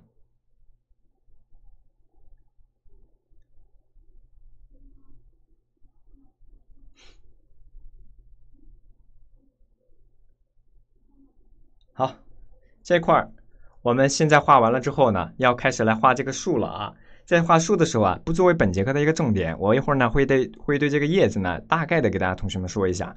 画树我们会在后面的第九、第十啊，然后呢都会给大家简单的给大家介绍啊，我们说的松柏呀，以及柳树啊等等一些杂树的表现都会说到。那今天我们呢不作为画面主要的呈现，你可以跟着老师的这个介绍啊，我想你应该也是大概能画出来了。具体的知识点我们放在后面来讲。我们现在呢，主要是讲岩石的一个表现的方法，然后来呈现一幅比较完整的一个画面，好吧？那我们现在开始，主要位于咱们刚刚画的这块横着的这个小岩石啊，它们这个转角的位置，我们来画这棵树。这棵树呢，你不要画太左了，太左了一块儿，旁边还要画一棵树呢，就画不出来了。我们先画这个戒指点的树，画多高呢？首先我们画整个纸张的它的一个，呃，从上往下数，大约画四个手指。点点第四个手指的这么一个位置的地方，就是我们这个这个树的最高的点啊，最高的点。它整体的一个趋势呢，一个姿态呢是右上左下，比较比较婀娜、比较委屈的那个造型，对吧？可以适当的淡一点，而且数量上也要少一些啊。从上往下，我们先画树先立干的啊，先把树干给它画出来啊，右上左下。从上往下画的时候，一定要注意了。咱们的树的树干的整体的一个粗细的一个变化，对不对？整体是树梢比较细，然后呢，树根呢它是越来越粗，树树枝呢它是比较嫩的，所以呢线条可以画的流畅一点。那么越往下面画呢，我们的线条啊就可以波折一些，对不对？现在画了两指这么一个长度啊，然后画到这儿呢，左侧我们可以适当的给它出一个枝啊，出这个枝的时候可以让它遮挡一下啊，也是像我们刚画岩石的一样。它有一个遮挡的一个关系啊，是吧？就一个 Y 字形，是不是大概就画出来了？放大些，好，放大些。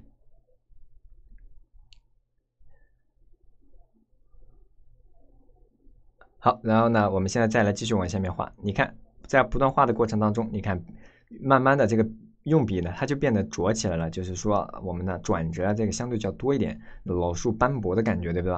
它的一种意象的传达，就是通过这种笔触的线条啊等等啊，行笔的速度等等来体现的哈。那再从右侧，我们来再跟它出一个枝啊。其实花树呢，它也是要有主次，出枝的时候也要有主次的关系的。你看这个为主，那这个就为次啊。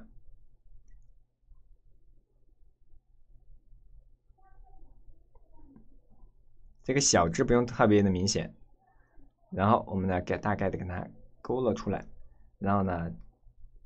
长到这个岩石上啊，现在这棵树呢，我们就不跟它画树根了啊。今天我们只是带大家先领略一下这个树，因为我们画一张画，它不可能只是岩石的话，看起来就比较单调了。我们需要一些树啊，来作为背景，来让我们的画面看起来更加的完整，对吧？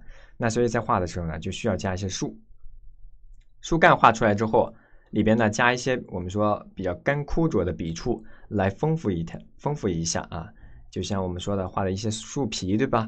啊，让它看起来更加的厚重，让整个树干，这是双钩的树木一种表达。后面我们还要给大家讲到这个，比如说，嗯，这个完全像墨骨的一种形式来表现的这种树哈。好，进来了，你是刚进来是吗？来晚的同学现在跟着老师一块来画就行哈。好，这个树干大概画出来了没有啊？画出来没有？画出来的话，现在我们就要开始来画这个叶子了。画这个叶子的时候啊，刚刚呢，老师呢是不是大概给同学们那个说了几个点呢？那现在我们就来说说这一会儿会画到的个字点、介字点。其实个字点呢、介字点呢，它都是一种象形的一种概括。你看，这因为四笔画出来的形态略微像我们的这个介绍的介，给你，比如说给你介绍一个朋友啊，等等，是吧？自我介绍等等，它有点像这个形态。个字点呢，就是一个人、两个人的个字形啊，给它是一种象形的概括啊。像我们树呢，因为往往很多树都是概括为杂树，杂树里边呢。它是形成一种符号化的一种表达的方法，有的呢可能我们画的一些小圆圈，对吧？像弧角点的一种形态，也有一些像三角，还有等等很多种数。那所以我们在画这种介字点的时候，不必说必须得各一个，呃，三笔必须得四笔，这个呢看你自己的一个心情。整体的一个行笔的方法，我现在可以跟大家讲一下，大概说一下就行哈。其实行笔就是实入虚出，你看。是不是入笔的地方它是要浓重一点点，收笔的地方虚一些啊？是吧？三笔形成就是我们的个字点，然后再加一笔，是不是就是我们说的一个介字点？当然行笔呢稍微流畅一点点哈，那行笔的速度略微快一点啊，这样的话它就显得会比较利落啊。我不敢把它印在我咱们的纸上画啊，因为它怕它印下去。然后在组合的时候就怎么组合呢？就是我们说的，我把它颠起来一点。有可能你的纸啊，它确实，因为有可能有很多同学买的是机器机器这个生产的宣纸呢，它就特别硬啊，还是尽可能买咱们的手工的哈。然后左侧的边缘，我们再再来跟它叠加，在组合的时候呢，我们说品字形，也就是你我们说的品味啊、品格这个品啊，去组合它啊，这样去组合，整体的一个造型呢，是根据我们书冠的一个形态去把握，简直要崩溃，数量太多了，对吧？希望你今天听完我们的课啊。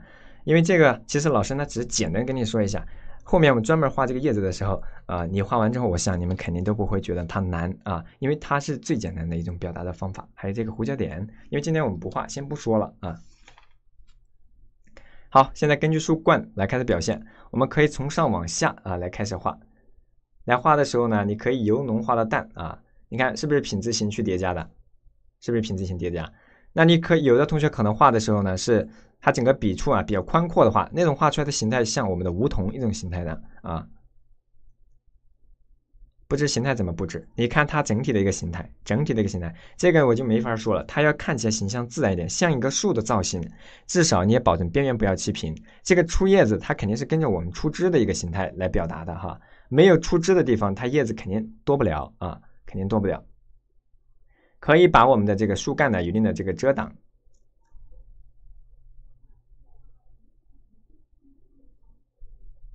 然后现在我们画的比较浓，对吧？由浓画到淡啊，不要来回的去蘸墨，不要来回的去蘸墨。然后画到一会儿淡了的时候，再往上面来一点点，它就会形成一定的虚实的一种对比啊。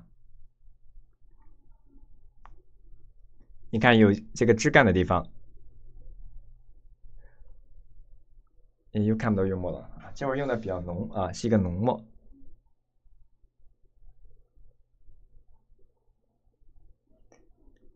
好，根据整个出枝的一个感觉，我们来确定它的一个树冠的一个形态。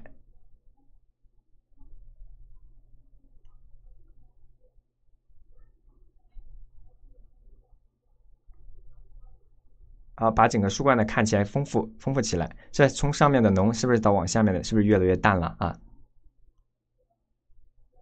这叶子大概画多大？一个手指甲盖啊，手指甲盖的大小。买这个工具的问题，课后问啊，课后问。一会儿咱们答疑时间再来说工具的事儿。第一节课同学们肯定很辛苦，我肯定能理解大家啊，但是希望同学们都能坚持下来哈。因为我们的哪一期课、哪一门课、第一节课啊，他都同学们都肯定是压力很大的啊，很多各种问题啊，这是太正常、再正常不过了啊。但是我们要学好的话，肯定需要一定一个一个学习的过程，对不对啊？稍微的坚持一下，相信同学们都能画出自己满意的作品来的。用的浓墨，对，叶子用的浓墨。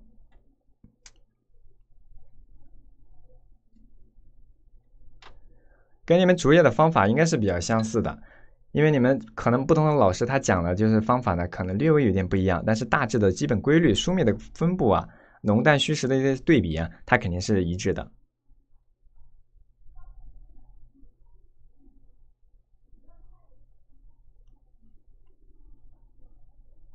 好，我现在就要把这个树冠给它画出来了哈，树冠啊。左右两边我们都要给它适当的加一点点，不然呢这个树啊看起来它都有一点点不够丰满。像长叶子的树呢，它体现的是一种季节，就是说，比如说春夏季，就是生命力比较旺盛的时节。那枯树呢，往往我们是春这个呃冬季，对吧？那所以我们在画的时候，中国画它有时候因为受制于材料的一种表现，它很多时候呢也是在一种比较含蓄的方法来体现一种呃时节或者说一种呃时空观嘛。好，我把这棵树大概就画出来了，你们还可以再继续去丰富它，整个树冠的一个造型呢看起来形象自然一点就可以。叶子是用的浓墨。同一个问题，不同同学都会问一遍哈。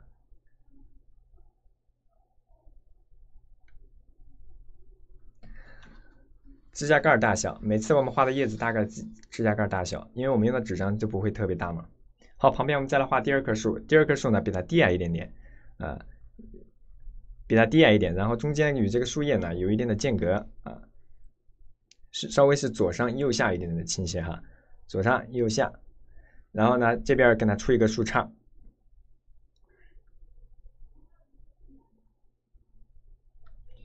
在画的时候，你看我们整体的一个粗细的把控啊，一定要注意了，同学们不要画的这个粗细的差别太大。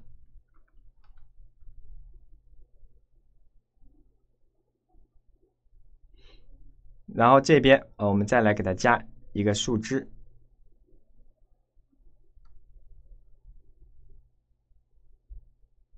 接到我们的这个根部这个位置来，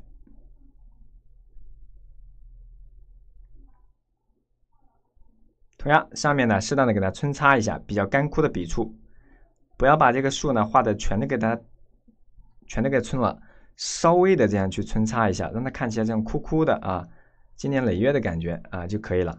这两棵树呢，我们往往它会有一个浓淡主次的一种区分。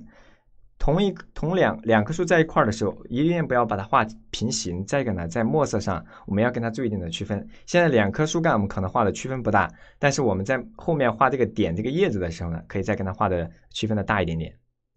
再近点，嘿，还要近吗？现在已经很近了哈。先画的浓叶，然后再画的淡叶。今晚会梦见山水，佛系养生少年，希望你不会梦到哈。好，这个是不是又看不到了？我再放到这儿，放到这儿啊。现在我们开始来点这个点了哈。这个点呢，就是我们刚刚说的横点。那放大了再点我们的一个树叶的时候呢，我们往往把它叫为这个混点、大混点、小混点啊。那基本的笔触的一个形态，你们能看到偏横着的、偏宽，对吧？水分呢比较饱满啊。跟着整个也是出枝的一个形态啊，出枝的一个形态。我们来点点的时候，它也是要错落焦点啊，错落焦点。笔触之间呢，不要让它看起来特别的孤立。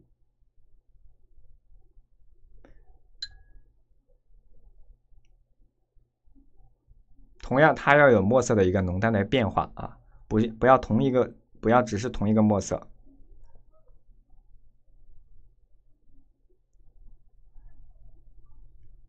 也要根据整个书冠的一个形态来哈，出枝的一个形态，不管你是什么样的一个笔触。啊，是点的还是线条的，啊，我们勾勒的一些双勾的一些树叶啊等等，都是要根据树冠的一个形态来表达。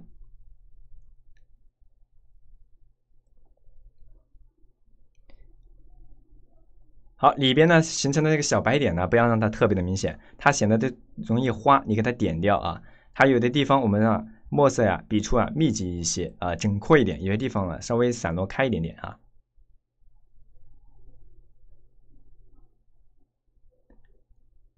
第一节课这么大的难度，难度也还好吧，同学们啊。其实可能第一节课刚接触有点陌生，这是很正常啊。难度的话，可能是量比较大，难度系数上，我我觉得应该是不会特别，不会让同学们特别的为难。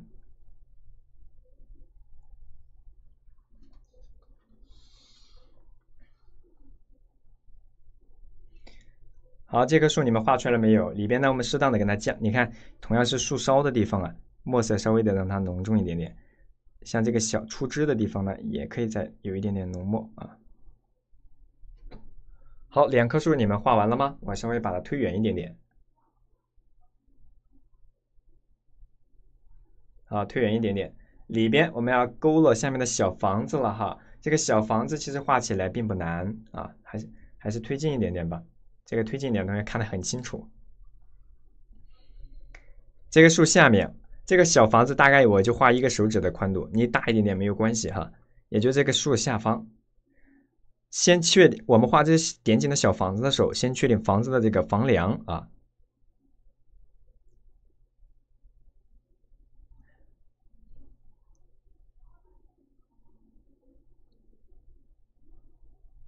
下面我们先来确定房梁是左下右上的一个倾斜的一个线条，然后左侧一个边缘呢，我们画一个三角啊，画一个三角。右侧我们呢再来画一根线条啊，画根线跟它平行的一个线条。把房子的一个盖先给它画出来啊，确定好了之后，我们呢再把这个房子的这个它的这个这个这个柱子啊给它画出来，整个高度也就大概一指左右啊，宽呢要一指半。小房子哈，其实它是一种我们说一种比较夸张的一种形式，通过房子的小来衬托这些树和山石的大，对吧？这么大的这么小的房子，你看，然后。房子都这么小了，人住的房子都这么小了，其他物体得多大呀？对不对？啊，没地儿画的话，你就取舍一下哈。另外一个房子呢，就是横着的啊，横着的房顶儿，比它靠后一点点，相互之间呢可以有个遮挡。左侧、前后是不是有个浓淡的一个区分？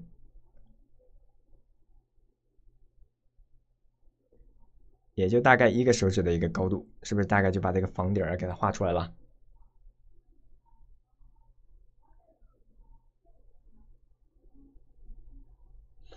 远处的是要淡呐，远处的是它是相对的一个淡啊，而且在数量上数量上少，它就会跟前面的一个多的一个对比的强。前面你点的多，点的浓重，它对比是不是就要强？后面你点的少，即便墨色可能区分不是特别开的话，它也会显得淡。对吧？这就是在视觉上形成的一些我们固定的一些规律嘛。好，小房子画出来，对吧？后面呢，我们再点这个小树啊，点这个小树其实都很简单了，墨色要淡啊，要淡，点出这个远景的小房，就根据整个树冠的一个造型啊，顶部大概就是一个尖角的一个一个树，一个树，一个。一个树的造型，然后中间呢，我们把这个树干的一个树干给它画出来。你可以先把这个枝干画出来之后，然后呢再去画上面的叶子。左右两边我们在画的时候呢，你可以可以怎么着，让它们的对比呢再大一点点，为了保证不让它们融合到一块去了，对吧？这根是不是比较浓比较浓重？然后旁边这个呢，跟它稍微的哎有一定的墨色的呼应感。这个房子都这么小了，不用画门了哈，太可爱了你。旁边我们呢再来加这个小的一个围栏啊，加这个围栏。好，稍微左右错了，交这个画一点小的这些小的短线条。这个应该不知道同学们有没有这种农村生活的经历啊？应该是以前呢，他们是很容经常容易见到这种小的一些小的一些，呃，这个叫。泥巴对吧？窗户更不用画了。好像这个树干的根部啊这些地方，我们啊可以适当的画一些，比如说高低、高高矮矮的这些小的枯枝在里边啊。它是丰富画面的一种疏密的一种节奏啊，一种关系啊。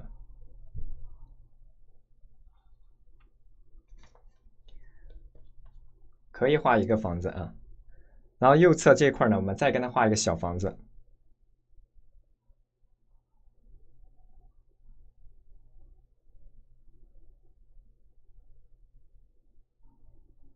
这小房子大概也就是一个手指的大概的一个高度，然后呢，它同样有个相互的一个遮掩，高一点点啊，是不是房子我们就给它画出来了？当你好，我现在把它放远一点点哈，放远一点。现在我们的近景呢和左侧的都给它画完了，我们现在开始来画哪儿了呀？右侧了哈，右侧了。其实远景画起来很快啊，画这一块儿啊，画这一块的时候要注意，我们之前画的这个浅滩，你看它是不是留出了这么大一块的距离啊？从我们这个尖角的这个位置和我们刚画的这块是不是相互有个错落一个间距啊？画多宽呢？你画个四五指宽就可以啊。在底下这条线，左下右上。稍微波折一下啊，稍微波折一下，把我们左这个边角的一些颜色的一个造型给它画出来。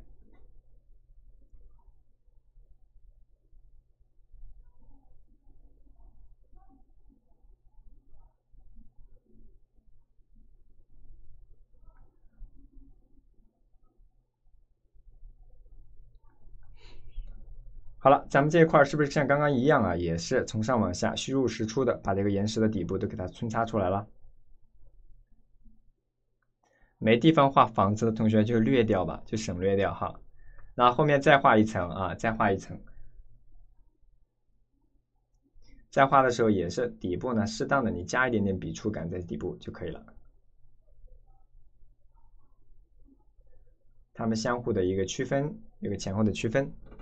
然后顶部你可以扫上这侧稍微的侧上两笔擦一擦啊，亮暗的对比呢不会特别的明显，跟前后的相比的话，是吧？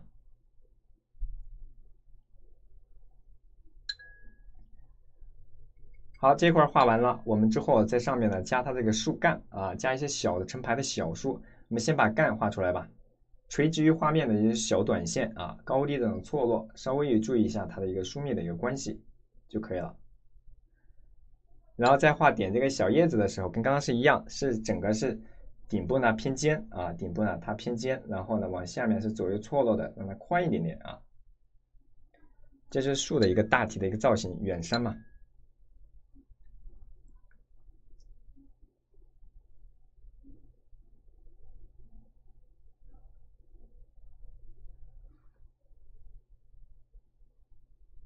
好，右侧我们再来点上一点点。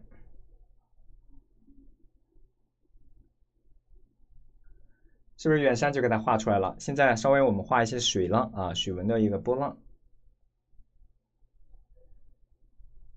水纹的波浪呢，在画的时候呢，不用它特别强。我们在画的时候呢，很多同学你们可以选择用，比如说用这种比较偏偏直的这种线条啊，偏直的这种线条去塑造。如果你不想画这个其他的一些波浪线的话啊啊，你就可以这样去画。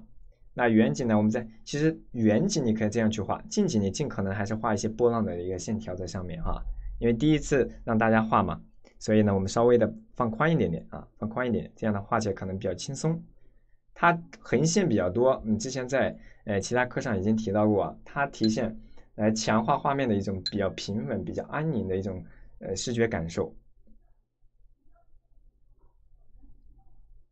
如果你画成波浪的一种形态呢，它就是增添一份动感啊。你看水纹，它往往是要跟我们环境交叠交叠的地方啊，我们才去表现它，其他地方往往不会再去加的。线条在画的时候呢，它是要有长有短的啊，疏密的关系同样要照顾到。好，那这块画完了之后，我们要开始画远景了哟啊，画远景了。画远景的时候啊，整体用到的这个呃墨色啊，它要淡一些啊。我把这个再拿出来，调和的墨色淡一点点。然后呢，我们先来画这个山峰啊，画这个山峰。有的同学呢，今天有个同学问一个问题，然后啊，我都不知道该怎么回答了。然后我们就稍微的中间偏左一点点啊，可以稍微中间偏左一点点。然后呢，这个山峰的一个造型呢，你可以稍微波折一些啊，不一定呢画的特别的尖，从上往下嘛啊，顶部大概留了两指啊，纸张的边缘，画的太大就其他物体就画小一点点啊。好，前面这个线条呢稍微浓重一点。好，边缘往后面走啊，它就慢慢的要开始淡了哈。底部它不要完全的接上啊，要接上了的话，它看起来呀，它有一点呃这种虚的感觉啊，就拉不开了。前后这种空旷感呢，空间感就流不出来。可以考三级了，对吧？你在考级是吗？好，大体的一个山包啊。边缘你可以不把不把它画的那么整齐哈，你看，同样要通过结构线的交叠来体现它的一种厚重感。好，现在再来多一些结构上的一些小的穿插啊。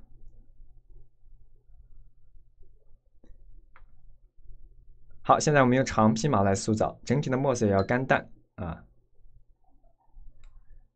怎么考级？线上肯定是没法考，你要在线下去考。实入虚出，也就是用笔啊，顶部偏实啊，底部偏虚一点点啊。右侧呢，我们稍微的塑造多一些；左侧呢，我们就稍微的少一点点。它其实也是在通过这个结构线的暗示来区分前后，其实区分的不是特别的明显啊。后面就可以让它平整一些，不要像前面那那么的突出它的一种体积。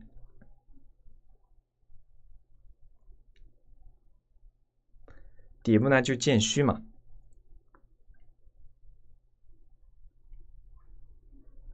呃，拉近点，这个拉近了，你可能就看不到啥了。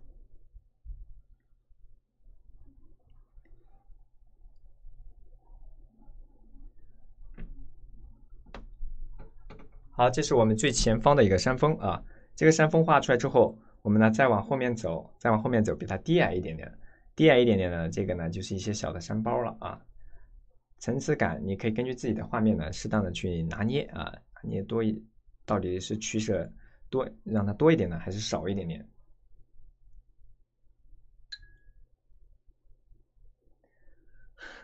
地震一样。好，再适当的，我们来穿插一下，两块岩石，我们要区分它的一个前后啊，你看，区分它的一个前后。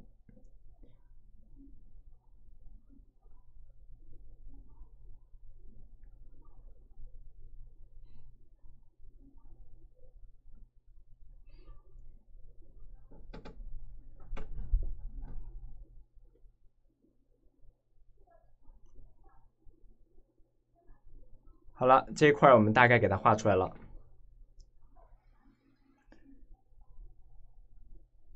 这是两处岩石，对不对？两个岩石的山峰，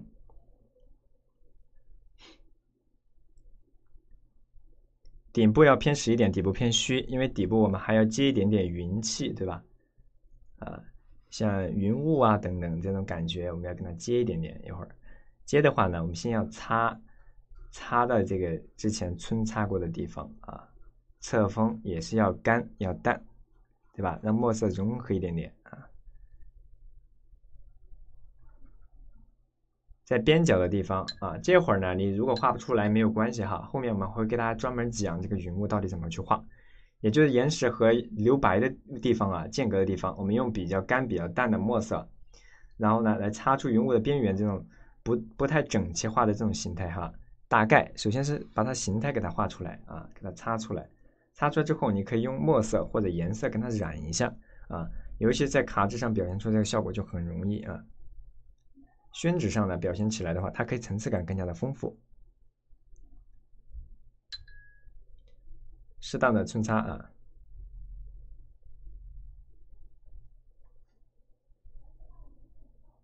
你看现在稍微的染一染，它颜色效果它就。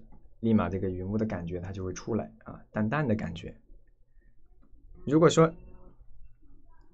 如果说你把它按照这个素描的这种体积去画的话，咱们的这个画面呢，它就显得太过了啊。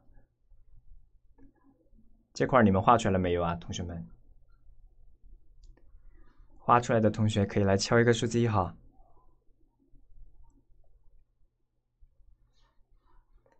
好，稍微把镜头呢再推远一点点。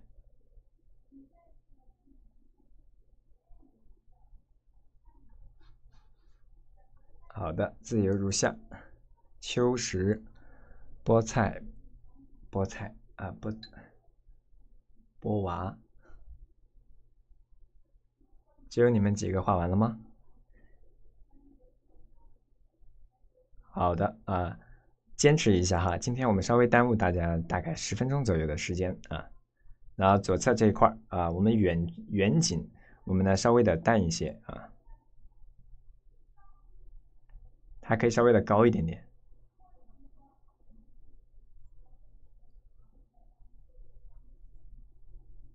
塑造的时候也是顶部偏实，底部偏虚啊。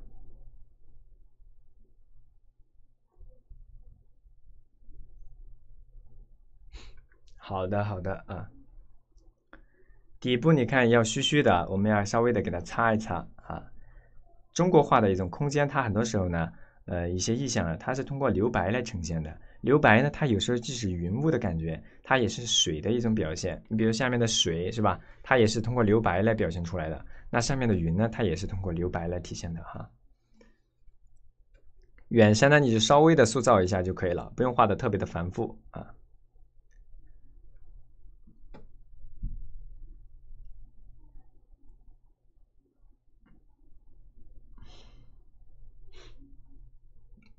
好，你们画完了没有？画完了之后啊，冲完了之后也是适当的擦一擦，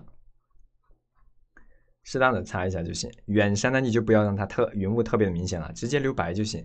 只有近景呢，我们会让这个云雾的感觉更加明显。远山它就形态都不会特别的明显了，对吧？这个画起来应该是不会太难的哈。云咋画？首先是那个滋啦的这个云雾的 云雾的一个状态啊，拿张纸。这个云雾的感觉，它边缘呢，它不会特别的整齐啊，它边缘不会特别的整齐。那你在画的时候，你就要先擦啊，通过这种我们擦的这种边缘，它就不会整齐嘛。把这个云雾的感觉给它擦出来。你现在不会画没有关系哈，我们之前说过也刚说过，我们会在后面教大家画的。比如说像这个云雾的形态，线条这么勾勒出来了，对吧？那我们就在这个线条的这个边缘上就这样去擦啊。假如你知道它有这么一个形态。就是这样去擦的啊，在这比如说转角这一块儿啊，你就可以擦的更重一些。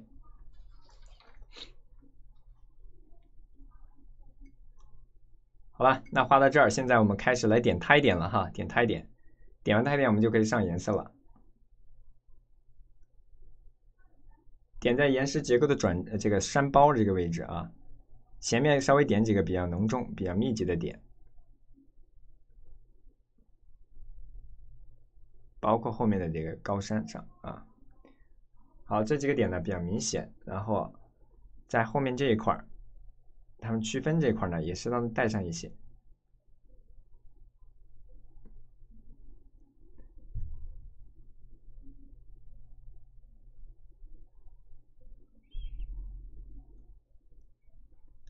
好，远山啊，我们再来点一点啊，远山。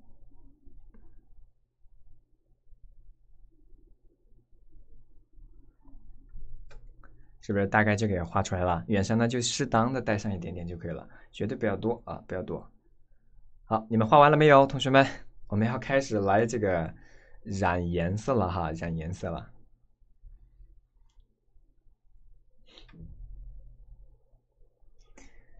如果说有同学没有画完的同学，你就先不要着急染色，然后在课后呢，你看到回放自己再染一下就行，好吧？那我们现在能跟上跟上的同学啊，呃。跟老师呢，就不跟着老师呢，就一起来染一染就好了啊！染色很快，就用的我们颜色也很简单啊。整个画面你看，我们的完整度基本上就快出来了。底部呢这一块呢，适当的像擦上一些，淡淡的擦上一些，我们说跟云雾的边卷的衔接的一个感觉嘛，淡淡的带上一点点。好的，那现在这张画先画到这儿，然后啊。我们就要开始来染颜色了哈。呃，先拿出赭石的这个颜色来。对，云是用的很淡很淡的墨，先是用，整体上我们基本上每次用的时候都是用的先干，然后再润啊。这样的话，同学们把握起来是最容易的啊。然后现在啊，加水啊，加水，然后来调和咱们的这个呃赭石。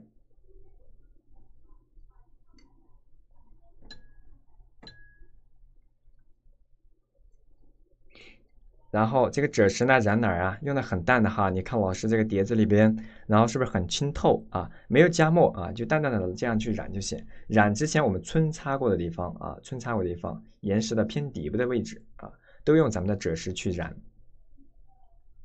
用笔呢，水分不要太大啊，稍微像带一点像擦的这么一种感觉哈。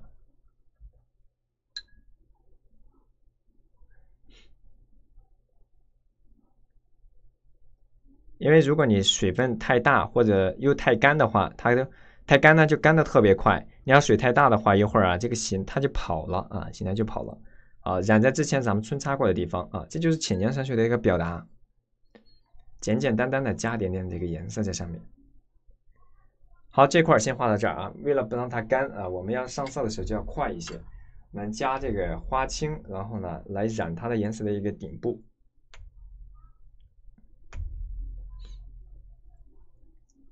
现在你可以把笔洗干净，或者换一支笔，加水来调和咱们的花青色啊。你可以先淡啊，先淡也是你先淡了，通过步骤性去控制你的这个用量啊。然后顶部呢，我们用花青，它可以跟赭石呢有一定的这个交融啊，有一定的这个交融。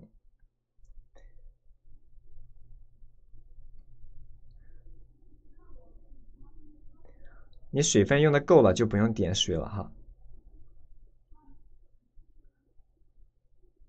好，它适当的可以一定的交融哈，没有关系，不要觉得它交融了，感觉颜色就不太好。有时候画面当中啊，颜色之间啊，它有一定的偶然性呢，也挺好的。包括墨色也一样。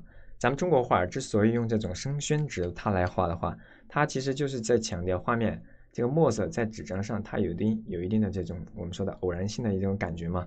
它可能会表现出来有一种不同的一种呃趣味，在画这些画的时候，现在我们还是偏视觉的在表现啊，比较中规中矩的去画一些画面。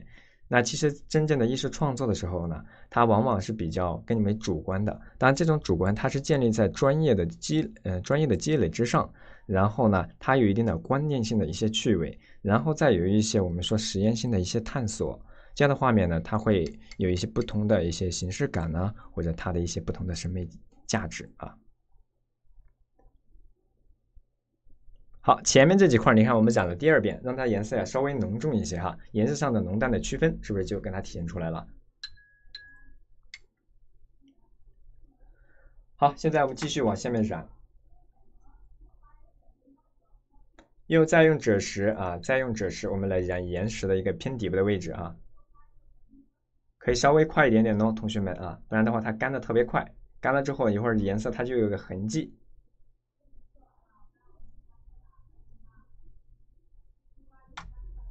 然后花青色染在岩石的一个顶部，你可以先把第一遍染完了之后再来区分它们的一个呃浓淡。其实我们可能自己在下面画的时候，有的同学可能一遍自己都能把它区分开，这个很正常。但是你要把握好这个度啊。如果太这个颜色太这个对比太冲突太大的话，画面的影响画面的和谐和统一。如果颜色没有区分的话，它又显得特别的平，对吧？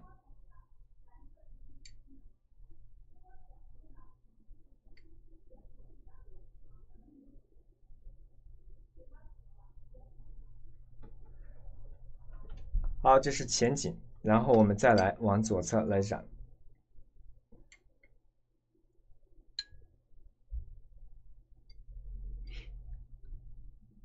染岩石的底部，稍微快一点点哦。都是染之前皴擦过的地方哈。那越往后面走呢，颜色上你可以适当的再简单一些啊。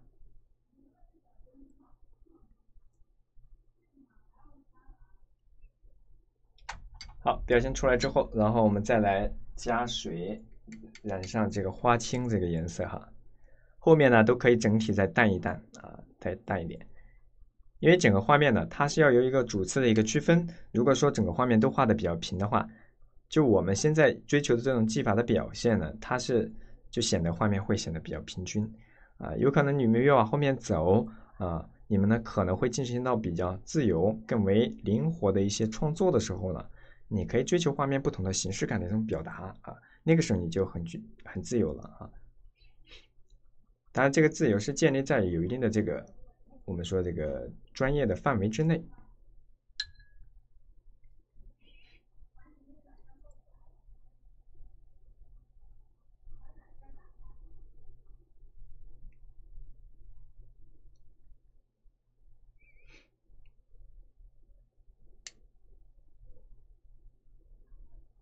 好，前面这一块也是相相对的浓重，我们给它染出来啊。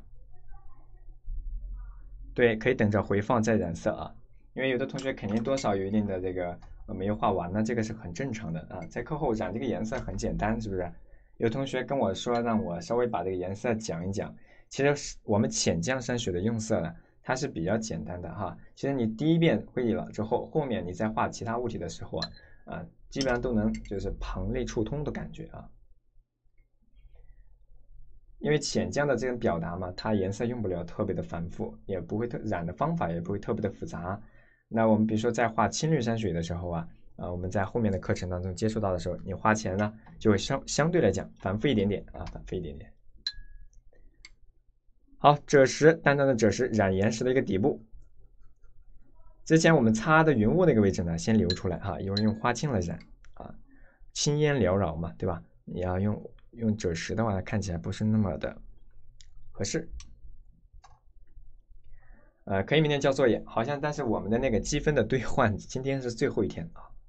就是如果你今天交的话呢，它可以这个呃这个这个什么呢？还可以拿这个积分去兑换你们的那个奖品，对不对？当然你可以先交一个局部啊，交一个你画的半成品也可以。然后老师跟你说了之后呢，你再去画也可以啊。所以今天晚上啊，最后一天，大家抓抓紧好机会啊！好，远山也是这样，淡淡的哈，淡淡的。你看这几个山石之间，它都会有颜色之间的区分。好，这个画出来之后，那我们远山这个画的就很简单了哈，大概把这个山头的一个形态跟它画出来啊。这块呢，我们再给它画一块山头，整个是顶部呢偏重，那底部呢偏淡。顶部重，你稍微的加一点点颜色嘛，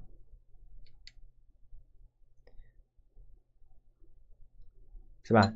稍微加一点点颜色，重色让它过渡一下，是不是就成了？这个远山是特别容易画的。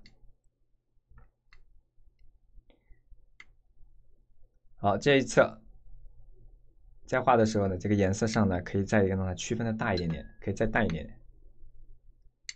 没有加淡墨，这是没有加淡墨啊，因为我知道一加肯定同学的好多同学就会觉得画面毁了，因为把握把握不了这个度啊。我们先不加，后面我们再来加。好，远山是再来画一层啊，也是顶部偏浓一点，底部偏淡一些啊。青烟缭绕，对吧？在这个云雾的地方，我们来再用这个赭石呃这个花青色给它染出来。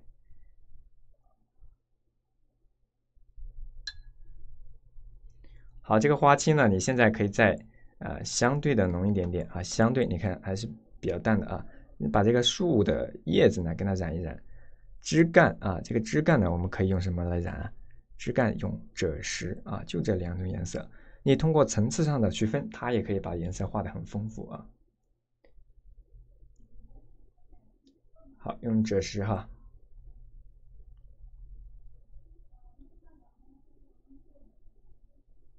两棵树，我们都用赭石来表达，不要染的太超出去了哈。然后房顶呢，我们也用赭石给它染上啊，相对浓稠一点点。这个时候就让它最浓的呃赭石就在房顶这里了。是不是？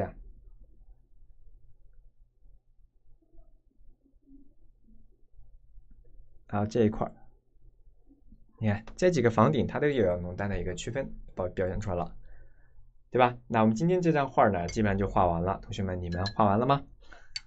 希望你们啊，今天这节课啊都有所收获。我们刚开始第一节课，多少可能很多同学呢觉得有点难，有一点难，对吧？这是可以理解的，这是很正常的，因为每一期课，哪一期课都是这样，都是第一节课的同学呀，是这第一节课是最不习惯的哈。你稍微的去接触接触，你就会慢慢的、慢慢的这个适应了。对，稍微可以买一点纸张，贵一点点的哈。买宣纸呢，我们至少要用手工的啊，不能用机器的，用机器的画出来效果它不是那么回事儿啊。好，其实像这些地方加这个水草啊，这个就你们就自己去加行吧，因为我这个一染了它就没干。这个呢就是几笔调几笔，加强画面的一种我们说的一种就是疏密的一个关系，跟它一点的作用差不了太多。现在开始咱们的答疑时间，同学们开始提问吧。这节课你们可以说一下你们的一个感受啊。树叶是用的花青啊，树干用的赭石。今天我们整个画面就用的花青、赭石两种颜色啊。怎么区分手工机器？机器的一个是他在买的时候肯定会标明，再一个呢就是机器的纸张啊，它的那个经纬线就是那个纸的纹路上面是横竖这个线，对吧？机器生产的那个特别明显啊。再一个呢，它价格特别便宜啊。再一个呢就是特别硬 啊。手工生产的呢，它个纸呢，它是有一定的这个我们说的一种质感的，它稍微有呃古朴一点点啊。这个纸摸起来，它的上我们可以说是粗糙啊，简单来说粗糙。但是那个纸里边，它的藤皮呀、棉料啊等等，它会显得更多一些啊。云雾好难画，这个没有关系啊。第一节课我们并不教大家画这个云雾啊，因为我们在画面的需要略微的加了一点点。我整个过程都在看调色，呃，调颜色的问题是吗？啊，这个很，这个你如果没听懂的话，下节课我再给你讲啊。毛笔为啥老开叉？因为可能保管不太好，再一个呢就是水分没把握好。哪里落款？右上角这块空旷的空旷的地方，那我的都是机器的啊。当然这个经纬线有可能你要你要相互比较，你才能这个更加明显啊。远山的塑造还不会画残了，没关系啊，我们还会给大家讲到的。用那种农耕笔为什么画不出感觉来啊？哟，刚开始画嘛，肯定有可能，后面细节太快啊。那下节课我们再注意一下啊，课后可以再看一下回放，看一下回放啊，啊，画到后面可能多少觉得有点累。现在这个调色有点像基础课，跟哪个课没有关系啊，主要用看怎么画，怎么去表现。云有规律吗？首先是形态，再一个呢是它的一种虚实的一个感觉啊。云雾太快，啊，云雾因为这没怎么表达，就擦了两下啊。长皮马画不好，越画越乱啊。啊，长皮马不画不好是吧？那现在老师给大家再讲一下。好，我们现在来说一下这个长皮马。有同学说还画不好，对不对？啊，我们大概来说一下。比如说我现在呢，先画一个山山峰的一个造型啊，画一个先锋的造型啊，呃，山峰的造型啊，大概比如说山头对吧？啊，然后旁边呢有一种错落交叠的一个小结构，里边呢我们来跟它错落交叠一块儿。对吧？那我们画的时候呢，是实入虚出，对吧？长皮马啊，从上往下，对吧？这样去塑造的，实入虚出，它就慢慢画就会越来越枯浊啊，线条就会越来越枯浊，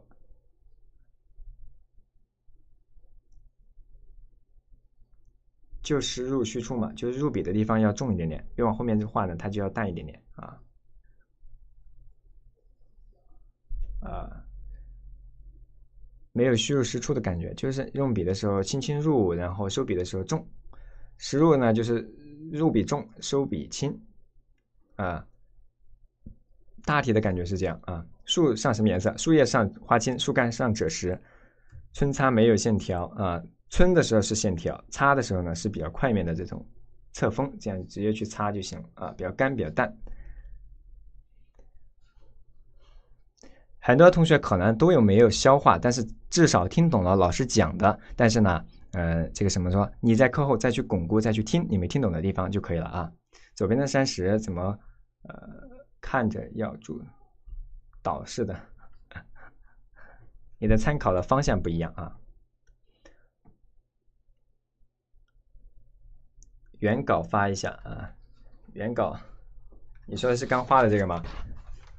好了，今今天咱们这节课呢就讲到这儿了哈，九点二十，今天我们耽误的时间比较长哈，以后我会把这个时间再照顾一下哈，因为第一节课我们肯定是要这个稍微的慢一点，同学们多少有一定的疑问，这个很正常啊，不一定要波纹，但是带一点的波折，你要注意线条的表现性，线条的表现性呢，我们说长短、枯湿、曲直等等，你这样去画啊，它就能表现的这种层次感呢、节奏感呢会更丰富。画进染几遍，只要浓淡对比出来之后就可以啊，整体的画面统一就行，好吧？那今天我们这节课就到这里了，宝宝们辛苦了，大家辛苦了。第一节课肯定很累，我理解大家，但是希望同学们都坚持，好不好？那祝家大家今天晚上能交作业的交作业吧。然后呢，我会去看大家画的一个作品，呃，然后再一个再一个什么呢？我们下节课再见啊！好，今天我们这节课就到这里了，宝宝们再见，拜拜拜拜，拜拜，记得提交作业哦，提交作业哦。